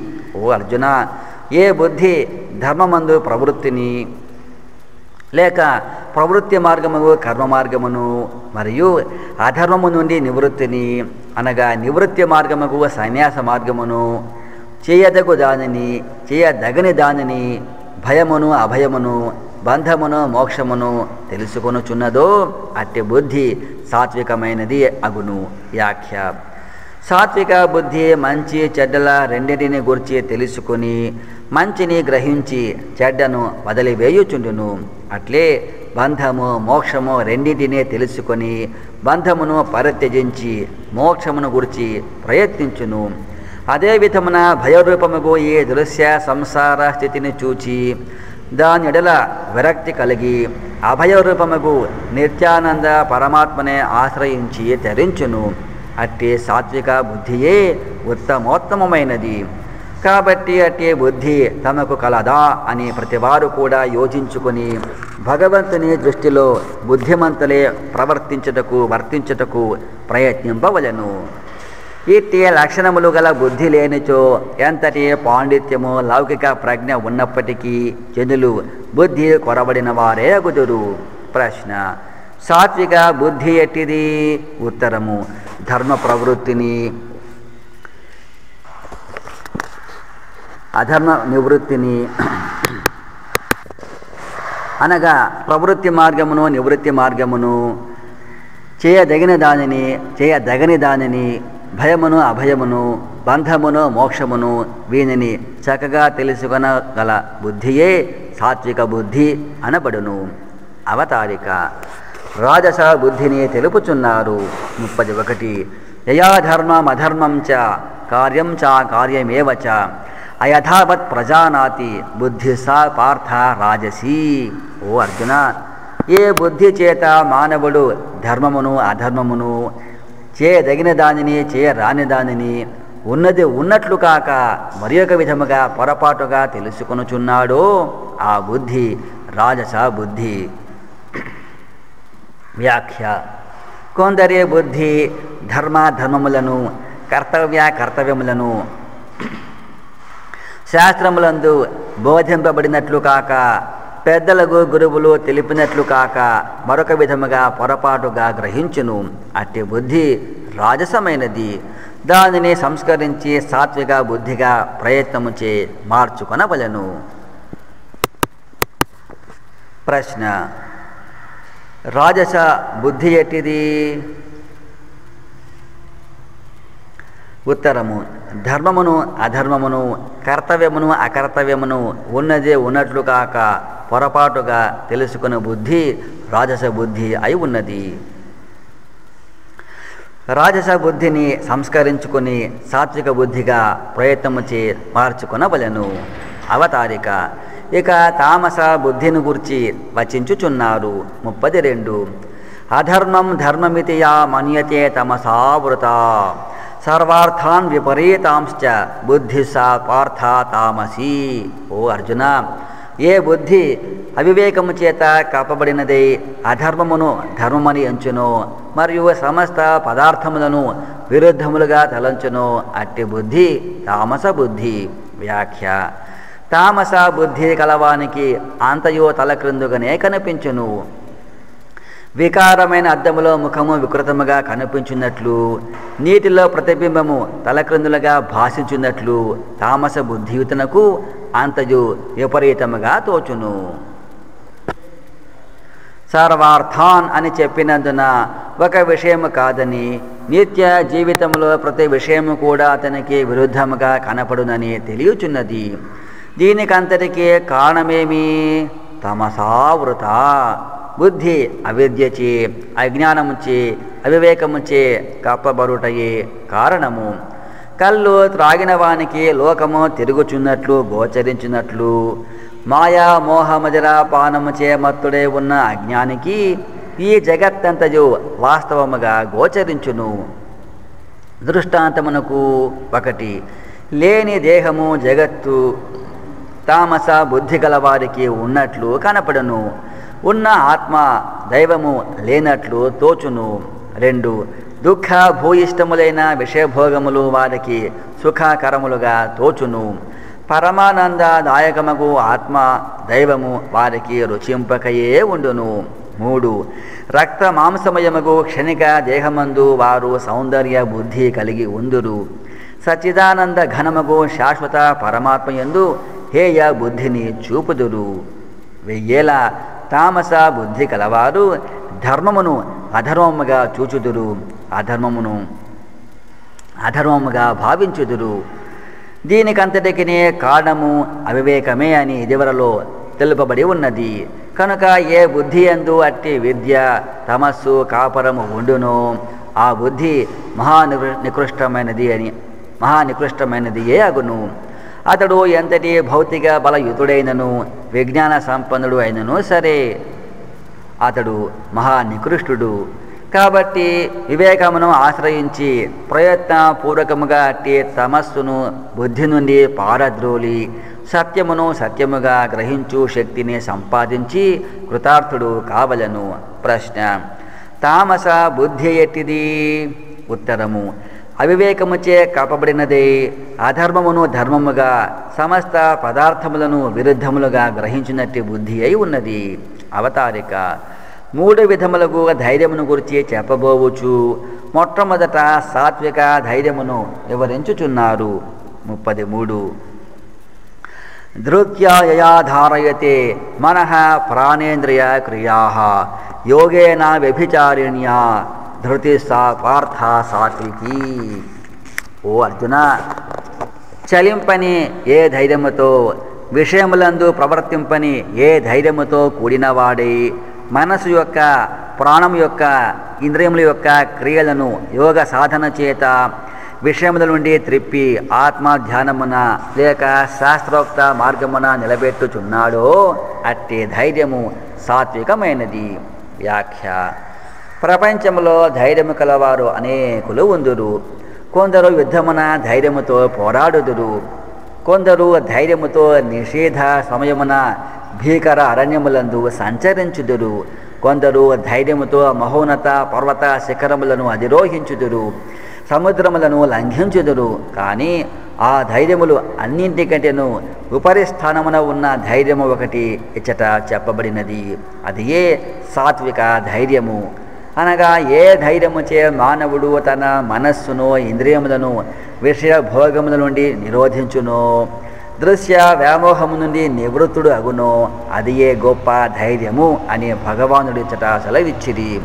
కాబట్టి తక్కిన ధైర్యములు కలిగి ఉన్నను. జన్మ సాఫల్య కారణము అగు ఈ పారమార్థిక ధైర్యమును కూడా మానవుడు తప్పక కలిగి ఉండవలను. అయితే ఆ ధైర్యము చపలముగా ఉండరాదు. ఈ రోజున ఉండి రేపు అదృశ్యము కారాదు. కనుకనే అవ్యభిచారిణ్య నిశ్చలమైన అని చెప్పబడినది.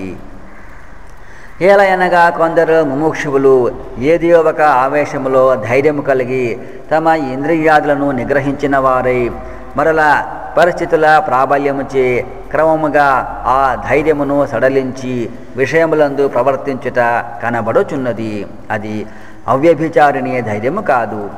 కాబట్టి స్థిరముగా ఉండునట్టే ధైర్యమునే అవలంబింపవలను. ప్రశ్న.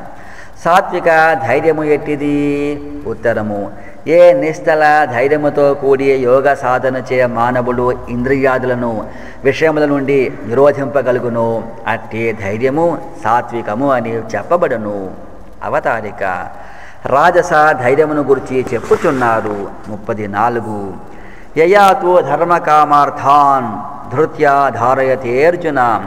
ప్రసంగేన ఫలాకాంక్షి ధృతి సా పార్థ రాజసీ. ఓ అర్జున ఏ ధైర్యముతో మానవుడు ఫలాపేక్ష కలవాడై ధర్మమును అర్థమును కామమును మిగుల ఆసక్తితో అనుష్ఠించుచుండునో అట్టి ధైర్యము రాజసమై ఉన్నది. వ్యాఖ్య. పురుషార్థములు నాలుగు ధర్మము అర్థము కామము మోక్షము. ఈ చతుర్విధ పురుషార్థములందు మొదటి మూడు మాత్రమే ఇచ్చట తెలుపబడినవి. నాలుగవది అగు మోక్షము చెప్పబడలేదు. దీనిని బట్టి రాజస ధైర్యాయుతులు మోక్షమును గురించి అంతగా పట్టించుకొనరు అని విదితమగుచున్నది. కాబట్టి ఏ ధైర్యము పరమార్థ దృష్టిలో అంత ఉత్తమమైనది కాదు అని తేలుచున్నది. ఇంద్రియములను నిరోధించడం ద్వారా మోక్షము కొరకు ప్రయత్నింప చేయునట్టి సాత్విక ధైర్యమే ఉత్కృష్టమైనది గొప్పది. ధర్మార్థ కామములు అను మూడు పురుషార్థములను అన్వేషించి వారి కంటే నాల్గవ పురుషార్థముకు మోక్షమును అన్వేషించు వాడే శ్రేష్ఠుడు. అయితే చతుర్విధ పురుషార్థములందలి మొదటిది అగు ధర్మమునకు అర్థము ఇచ్చట సామాన్య ధర్మము అనియే గ్రహింపవలను. విశేష ధర్మము పరమాత్మ అవలంబనమే దైవనిష్టయే ఆత్మజ్ఞానమే విశేష ధర్మము. సంగేన అని చెప్పక ప్రసంగేన అని చెప్పుటచే అట్టివారు ఆ పురుషార్థములందు మిక్కుటమగు ఆసక్తిని చూపుదురు అని తెలియచున్నది. ప్రశ్న రాజస ధైర్యము ఎట్టిది? ఉత్తరము. ఏ ధైర్యము చే మానవుడు ఫలాపేక్ష కలవాడే ధర్మార్థ కామములను మిగుల ఆసక్తితో అనుష్ఠించుచుండునో అది రాజస ధైర్యము అనబడును. అవతారిక. ఇక తామస ధైర్యమును పేర్కొనుచున్నారు. ముప్పది ఐదు.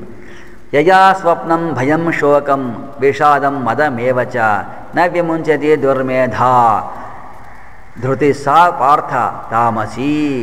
ఓ అర్జున ఏ బుద్ధి చేత దుర్బుద్ధియగు మానవుడు నిద్రను భయమును దుఃఖమును సంతాపమును దిగులును మదమును విడవక ఉండును అట్టే ధైర్యము తామసమైనది. వ్యాఖ్య ధైర్యము గొప్ప సుగుణమే కానీ అది దుర్విషయములందు వినియోగింపబడినప్పుడు నిష్ఫలమైపోవును. తమోగుణయుతుడు ఒకనొక ధైర్యము అవలంబించి తన అతి నిద్రను భయమును దుఃఖమును దిగులును మదమును వదలకయే ఉండును.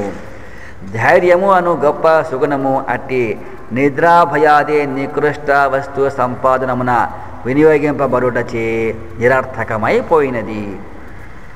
కాబట్టి ఆ ధైర్యమునే సద్వస్తు సంపాదనకు సచ్చీల సముపార్జనకు మోక్ష ప్రాప్తికి దైవ కరుణకు వినియోగించుట ఉత్తముని ధర్మమై ఉన్నది.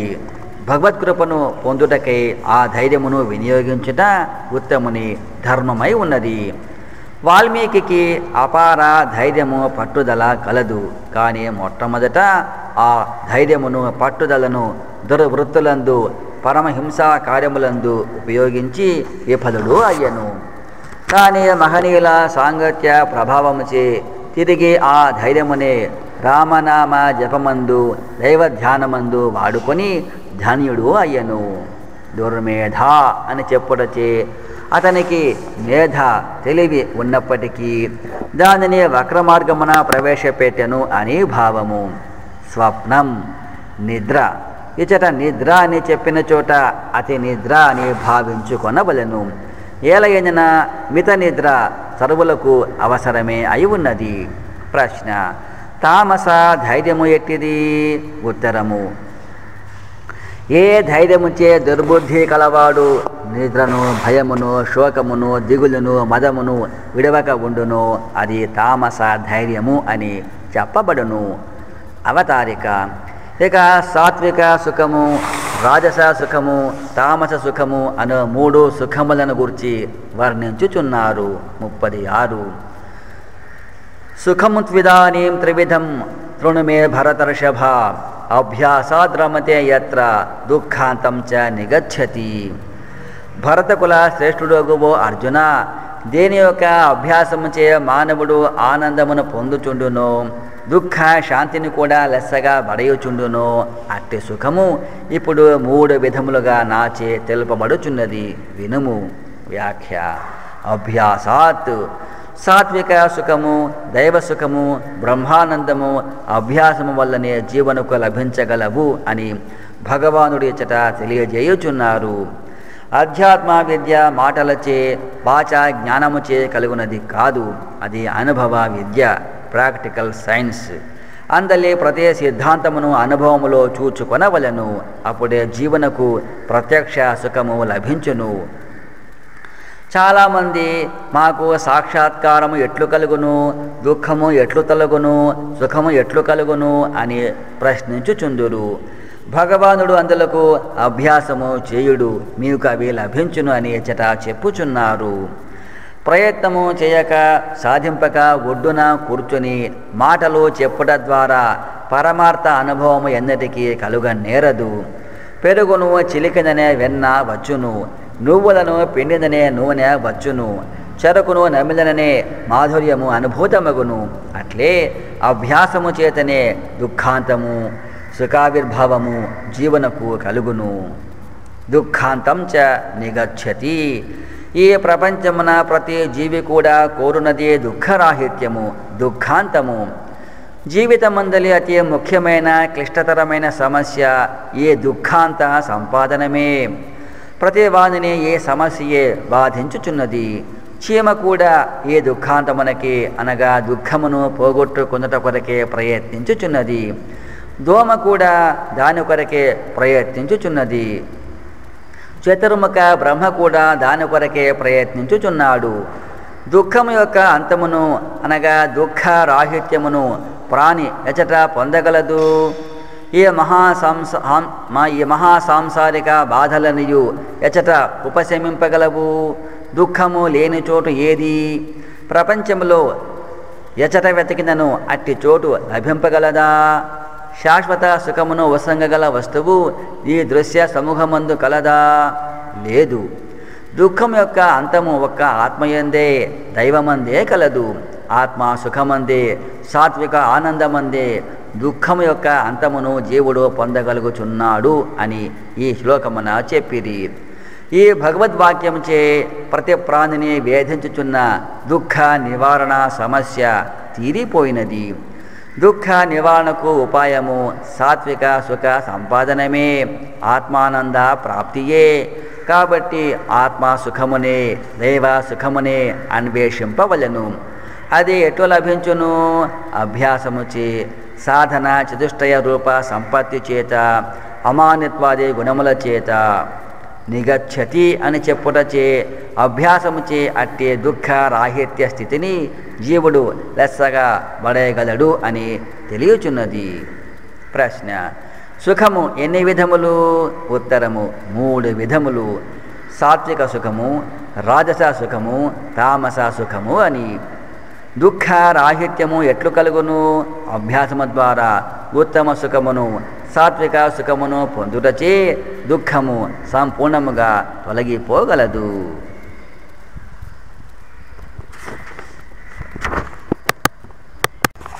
గీతా మకరందము మోక్ష సన్యాస యోగము ముప్పది ఏడు అవతారిక సాత్విక సుఖము యొక్క లక్షణమును వచించుచున్నారు ముప్పది ఏడు ఎత్తదగ్రే విషమివ పరిణామే అమృతోపమం తత్సుఖం సాత్వికం ప్రోక్తం ఆత్మ బుద్ధి ప్రసాదజం. ఏ సుఖము ప్రారంభమునందు విషము వలె పర్యవసానమందు అమృతమును పోలినదిగను ఉండును. తన బుద్ధి యొక్క నిర్మలత్వముచే కలుగునట్టి ఆ సుఖము సాత్వికము అని చెప్పబడినది. వ్యాఖ్య. ఆధ్యాత్మ క్షేత్రమున సాధకునకు అభ్యాస కాలమందు ప్రారంభమున బ్రహ్మనిష్ట ధ్యాన వైరాగ్యాదులు ఒకంత కష్టముగా తోచవచ్చును. కానీ అభ్యాసము సాధన పూర్తియగు కాలమున అమృత తుల్యముగా ఉండును.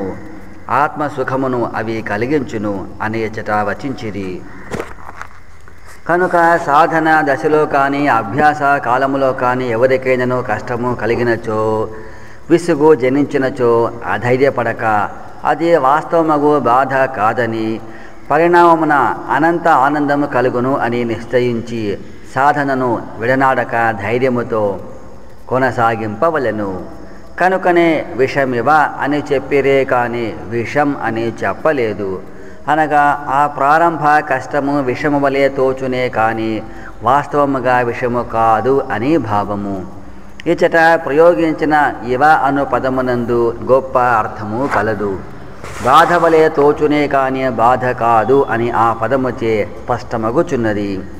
ఆ తాత్కాలిక బాధకైనను కారణము జన్మార్జితములైన పాప వాసనలకు ఆధునిక పుణ్య వాసనలకు మధ్య కలుగు సంఘర్షణమే అగును.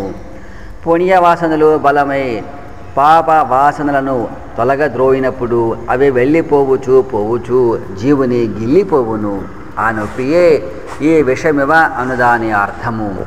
అదే జీవుని ప్రారంభ బాధ? వాస్తవముగా అది బాధ కాదు. అనుపమ సుఖమునకు నాందియే అగును. ఒకనొక రోగమునకు వేప ఉండ అను మందు ఇచ్చుదురు. అది చేదుగా ఉన్నను ఆరోగ్యమును కలిగించును. ఔషధము సేవించినప్పుడు అప్రీతిగా ఉన్నను. బలవంతముగా అయినను సేవించవలసినదే ఆరోగ్యము కొరకు. ఒక రాయి దేవ విగ్రహముగా మారుటకు మొదట ఉలిదెబ్బలు తిందినట్లు బంగారము శిరోభూషణముగా మారుటకు స్వర్ణకారుని సుత్తి దెబ్బలు తినునట్లు అనంతమగు బ్రహ్మానందమును అనుభవించుటకు ముందు జీవుడు ఒకంత త్యాగము చేయవలసి ఉండును. అట్లు అల్ప సుఖమును మొదలున్నప్పుడు ఒకంత దుఃఖము కలుగవచ్చును. అనేక జన్మల నుండి ఆ విషయ సుఖములు అను బంధువులు జీవుని హృదయ గేహములో నివసించుచున్నారు. వారు పోవునప్పుడు బంధు వియోగమందువలె తాత్కాలిక ఆవేదన కొంత కలుగును. అంత మాత్రముతో సాధకుడు బెదరిపోరాదు. కొంత ఓపిక పట్టి సాధనను విడవక కొనసాగించినచో ఆ కష్టకాలము తొలగిపోయి సుఖకాలము ఏతెంచును. ఒక విద్యార్థి దశలో రేయింబవళ్ళు కష్టపడి చదువును.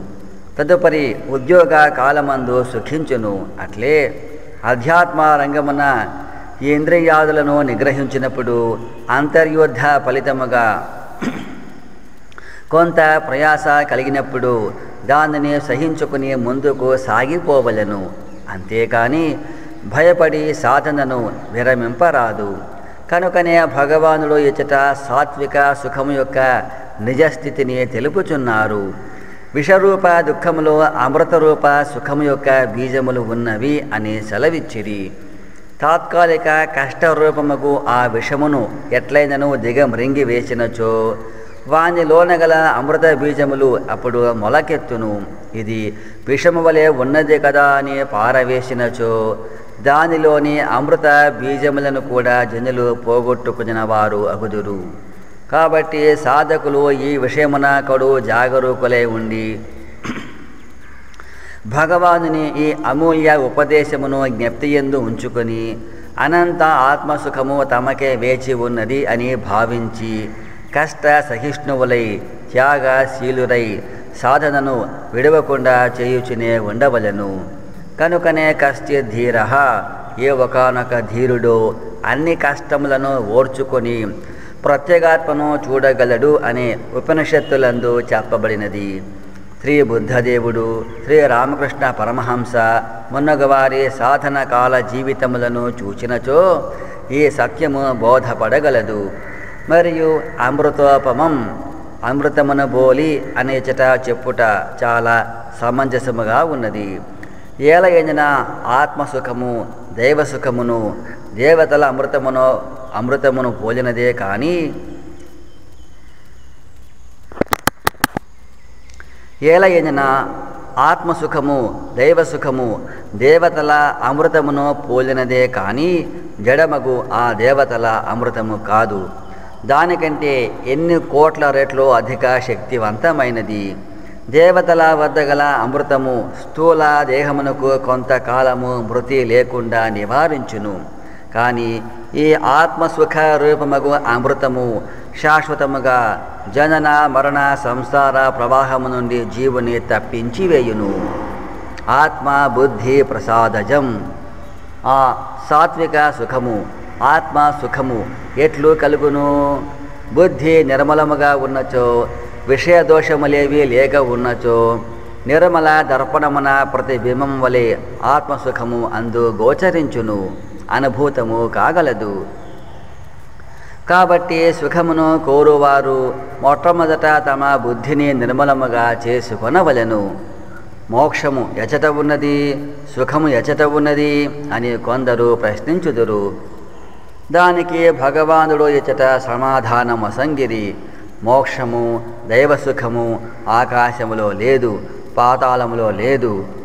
నిర్మల తమ బుద్ధి అందే కలదు. ఈ అర్థమునే శ్రీ వశిష్ఠ మహర్షి కూడా శ్రీరామచంద్రునకు ఇట్లు బోధించిది నా మోక్షో నభస పృష్టే పాతాళే నచ భూతలే. మోక్షో హి చేతో విమలం సమ్యక్ జ్ఞాన విబోధితం శ్రీ వశిష్ఠ గీత. ప్రశ్న. సాత్విక సుఖము యొక్క లక్షణమేమి? ఉత్తరము. ప్రారంభములో అభ్యాస కాలములో విషము వలె కష్టముగా తోచి తుదకు అమృతము వలె సుఖదాయకముగా ఉండునది సాత్విక సుఖము. అట్టి సాత్విక సుఖము జీవనకు ఎట్లు కలుగును? నిర్మల బుద్ధి నుండి ఆ సుఖము జనించును. కనుక సుఖాభిలాషి బుద్ధిని నిర్మలము చేసుకొనవలెను. కాబట్టి జీవనే కర్తవ్యమేమి?